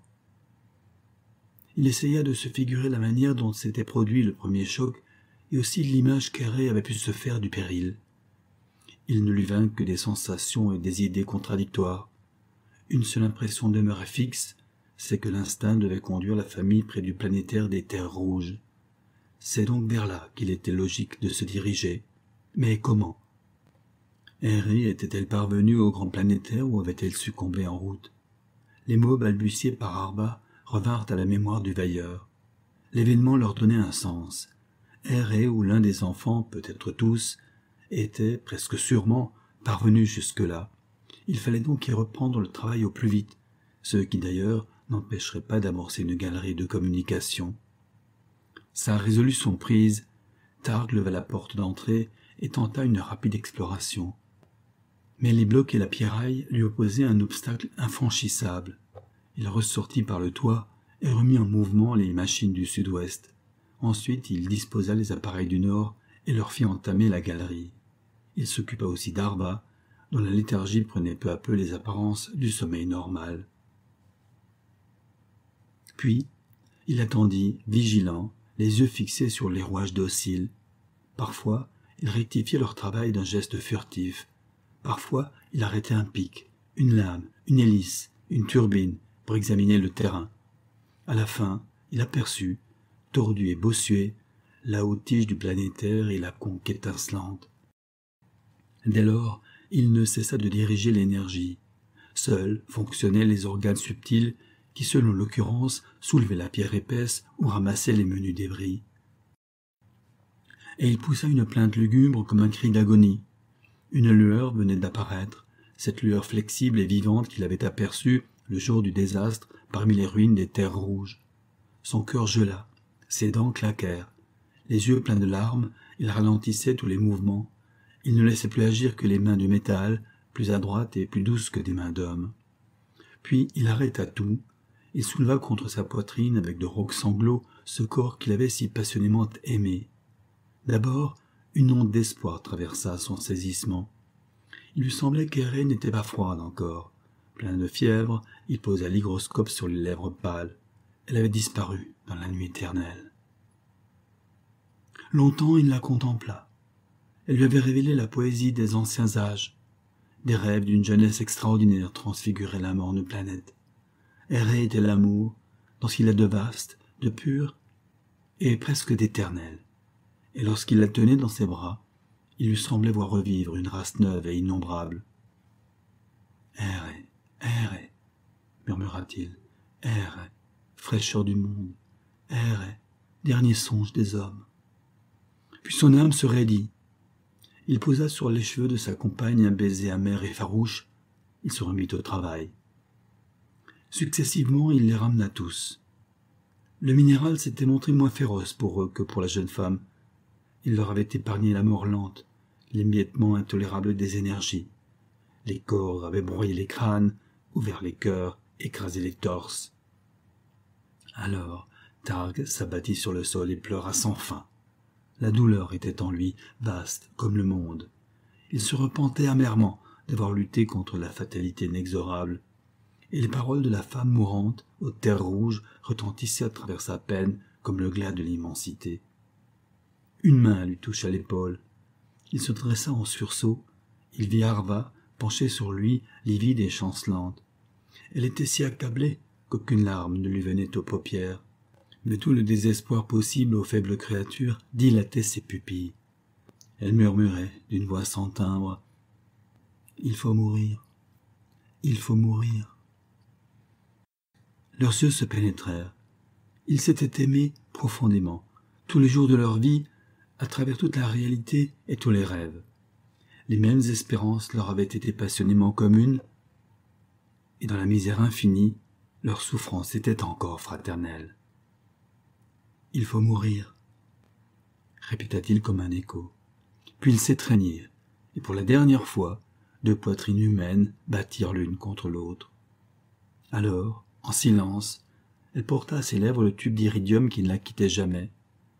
Comme la dose était massive et la faiblesse d'Arva extrême, l'euthanasie dura peu de minutes. La mort. La mort, balbutiait l'agonisante. Oh, comment avons-nous pu la craindre? Ses yeux s'obscurcirent, une lassitude heureuse détendit ses lèvres, et sa pensée était complètement évanouie lorsque le dernier souffle s'exhala de sa poitrine. Et il n'y avait plus qu'un seul homme sur la terre. Assis sur un bloc de porphyre, il demeura enseveli dans sa tristesse et dans son rêve. Il refaisait une fois encore le grand voyage vers l'amont des temps, qui avait si ardemment exalté son âme. Et d'abord il revit la mer primitive, tiède encore, où la vie foisonnait, inconsciente et insensible. Puis vinrent les créatures aveugles et sourdes, extraordinaires d'énergie et d'une fécondité sans bornes. La vision naquit, la divine lumière créa ces temples minuscules, les êtres nés du soleil connurent son existence, et la terre ferme apparut. Les peuples de l'eau s'y répandirent, vagues, confus et taciturnes. Pendant trois mille siècles, ils créèrent les formes subtiles. Les insectes, les batraciens et les reptiles connurent les forêts de la fougère géante, le pullulement des calamites et des sagittaires. Quand les arbres avancèrent leurs torses magnifiques, alors aussi se montrèrent d'immenses reptiles. Les dinosauriens avaient la taille des cèdres, les ptérodactyles planaient sur les formidables marécages. En ces âges naissent, chétifs, gourds et stupides, les premiers mammifères. Ils rôdent, misérables, et si petits qu'il en eût fallu cent mille pour faire le poids d'un iguanodon. Durant d'interminables millénaires, leur existence demeure imperceptible et presque dérisoire. Ils croissent pourtant. L'heure vient où c'est leur tour, où leurs espèces se lèvent en force à tous les détours de la savane, dans tous les pénombres des futaies. C'est eux, maintenant, qui font figure de colosses. Le dinothérium, l'éléphant antique, les rhinocéros cuirassés comme les vieux chênes, les hippopotames aux ventres insatiables, le russe, l'auroch, le macaïrodus, le lion géant et le lion jaune, le tigre, l'ours des cavernes et la baleine, aussi massive que plusieurs diplodocus, et le cachalot, dont la bouche est une caverne, aspire les énergies éparses. Puis, la planète laissa prospérer l'homme. Son règne fut le plus féroce, le plus puissant, et le dernier. Il fut le destructeur prodigieux de la vie. Les forêts moururent, et leurs hôtes, sans nombre, toutes bêtes, furent exterminées ou avilies. Et il y eut un temps où les énergies subtiles et les minéraux obscurs semblèrent eux-mêmes esclaves. Le vainqueur capta jusqu'à la force mystérieuse qui a assemblé les atomes. Cette frénésie même annonçait la mort de la terre, la mort de la terre pour notre règne, murmura doucement Targ. Un frisson secoua sa douleur. Il songea que ce qui subsistait encore de sa chair s'était transmis sans arrêt depuis les origines. Quelque chose qui avait vécu dans la mer primitive, sur les limons naissants, dans les marécages, dans les forêts et au sein des savanes, et parmi les cités innombrables de l'homme, ne s'était jamais interrompu jusqu'à lui. Et voilà qu'il était le seul homme qui palpita sur la face redevenue immense de la terre. La nuit venait. Le firmament montra ces feux charmants qu'avaient connus les yeux de trillions d'hommes. Il ne restait que deux yeux pour les contempler. Targ dénombra ceux qu'il avait préférés aux autres, puis il vit encore se lever l'astre ruineux, l'astre troué, argentin et légendaire, vers lequel il leva ses mains tristes. Il eut un dernier sanglot. L'amour entra dans son cœur et, se refusant l'euthanasie, il sortit des ruines. Il alla s'étendre dans l'oasis parmi les ferromagnétos. Ensuite, humblement, quelques parcelles de la dernière vie humaine entrèrent dans la vie nouvelle. Ainsi s'achève la mort de la terre par J.H. Ronnie aîné.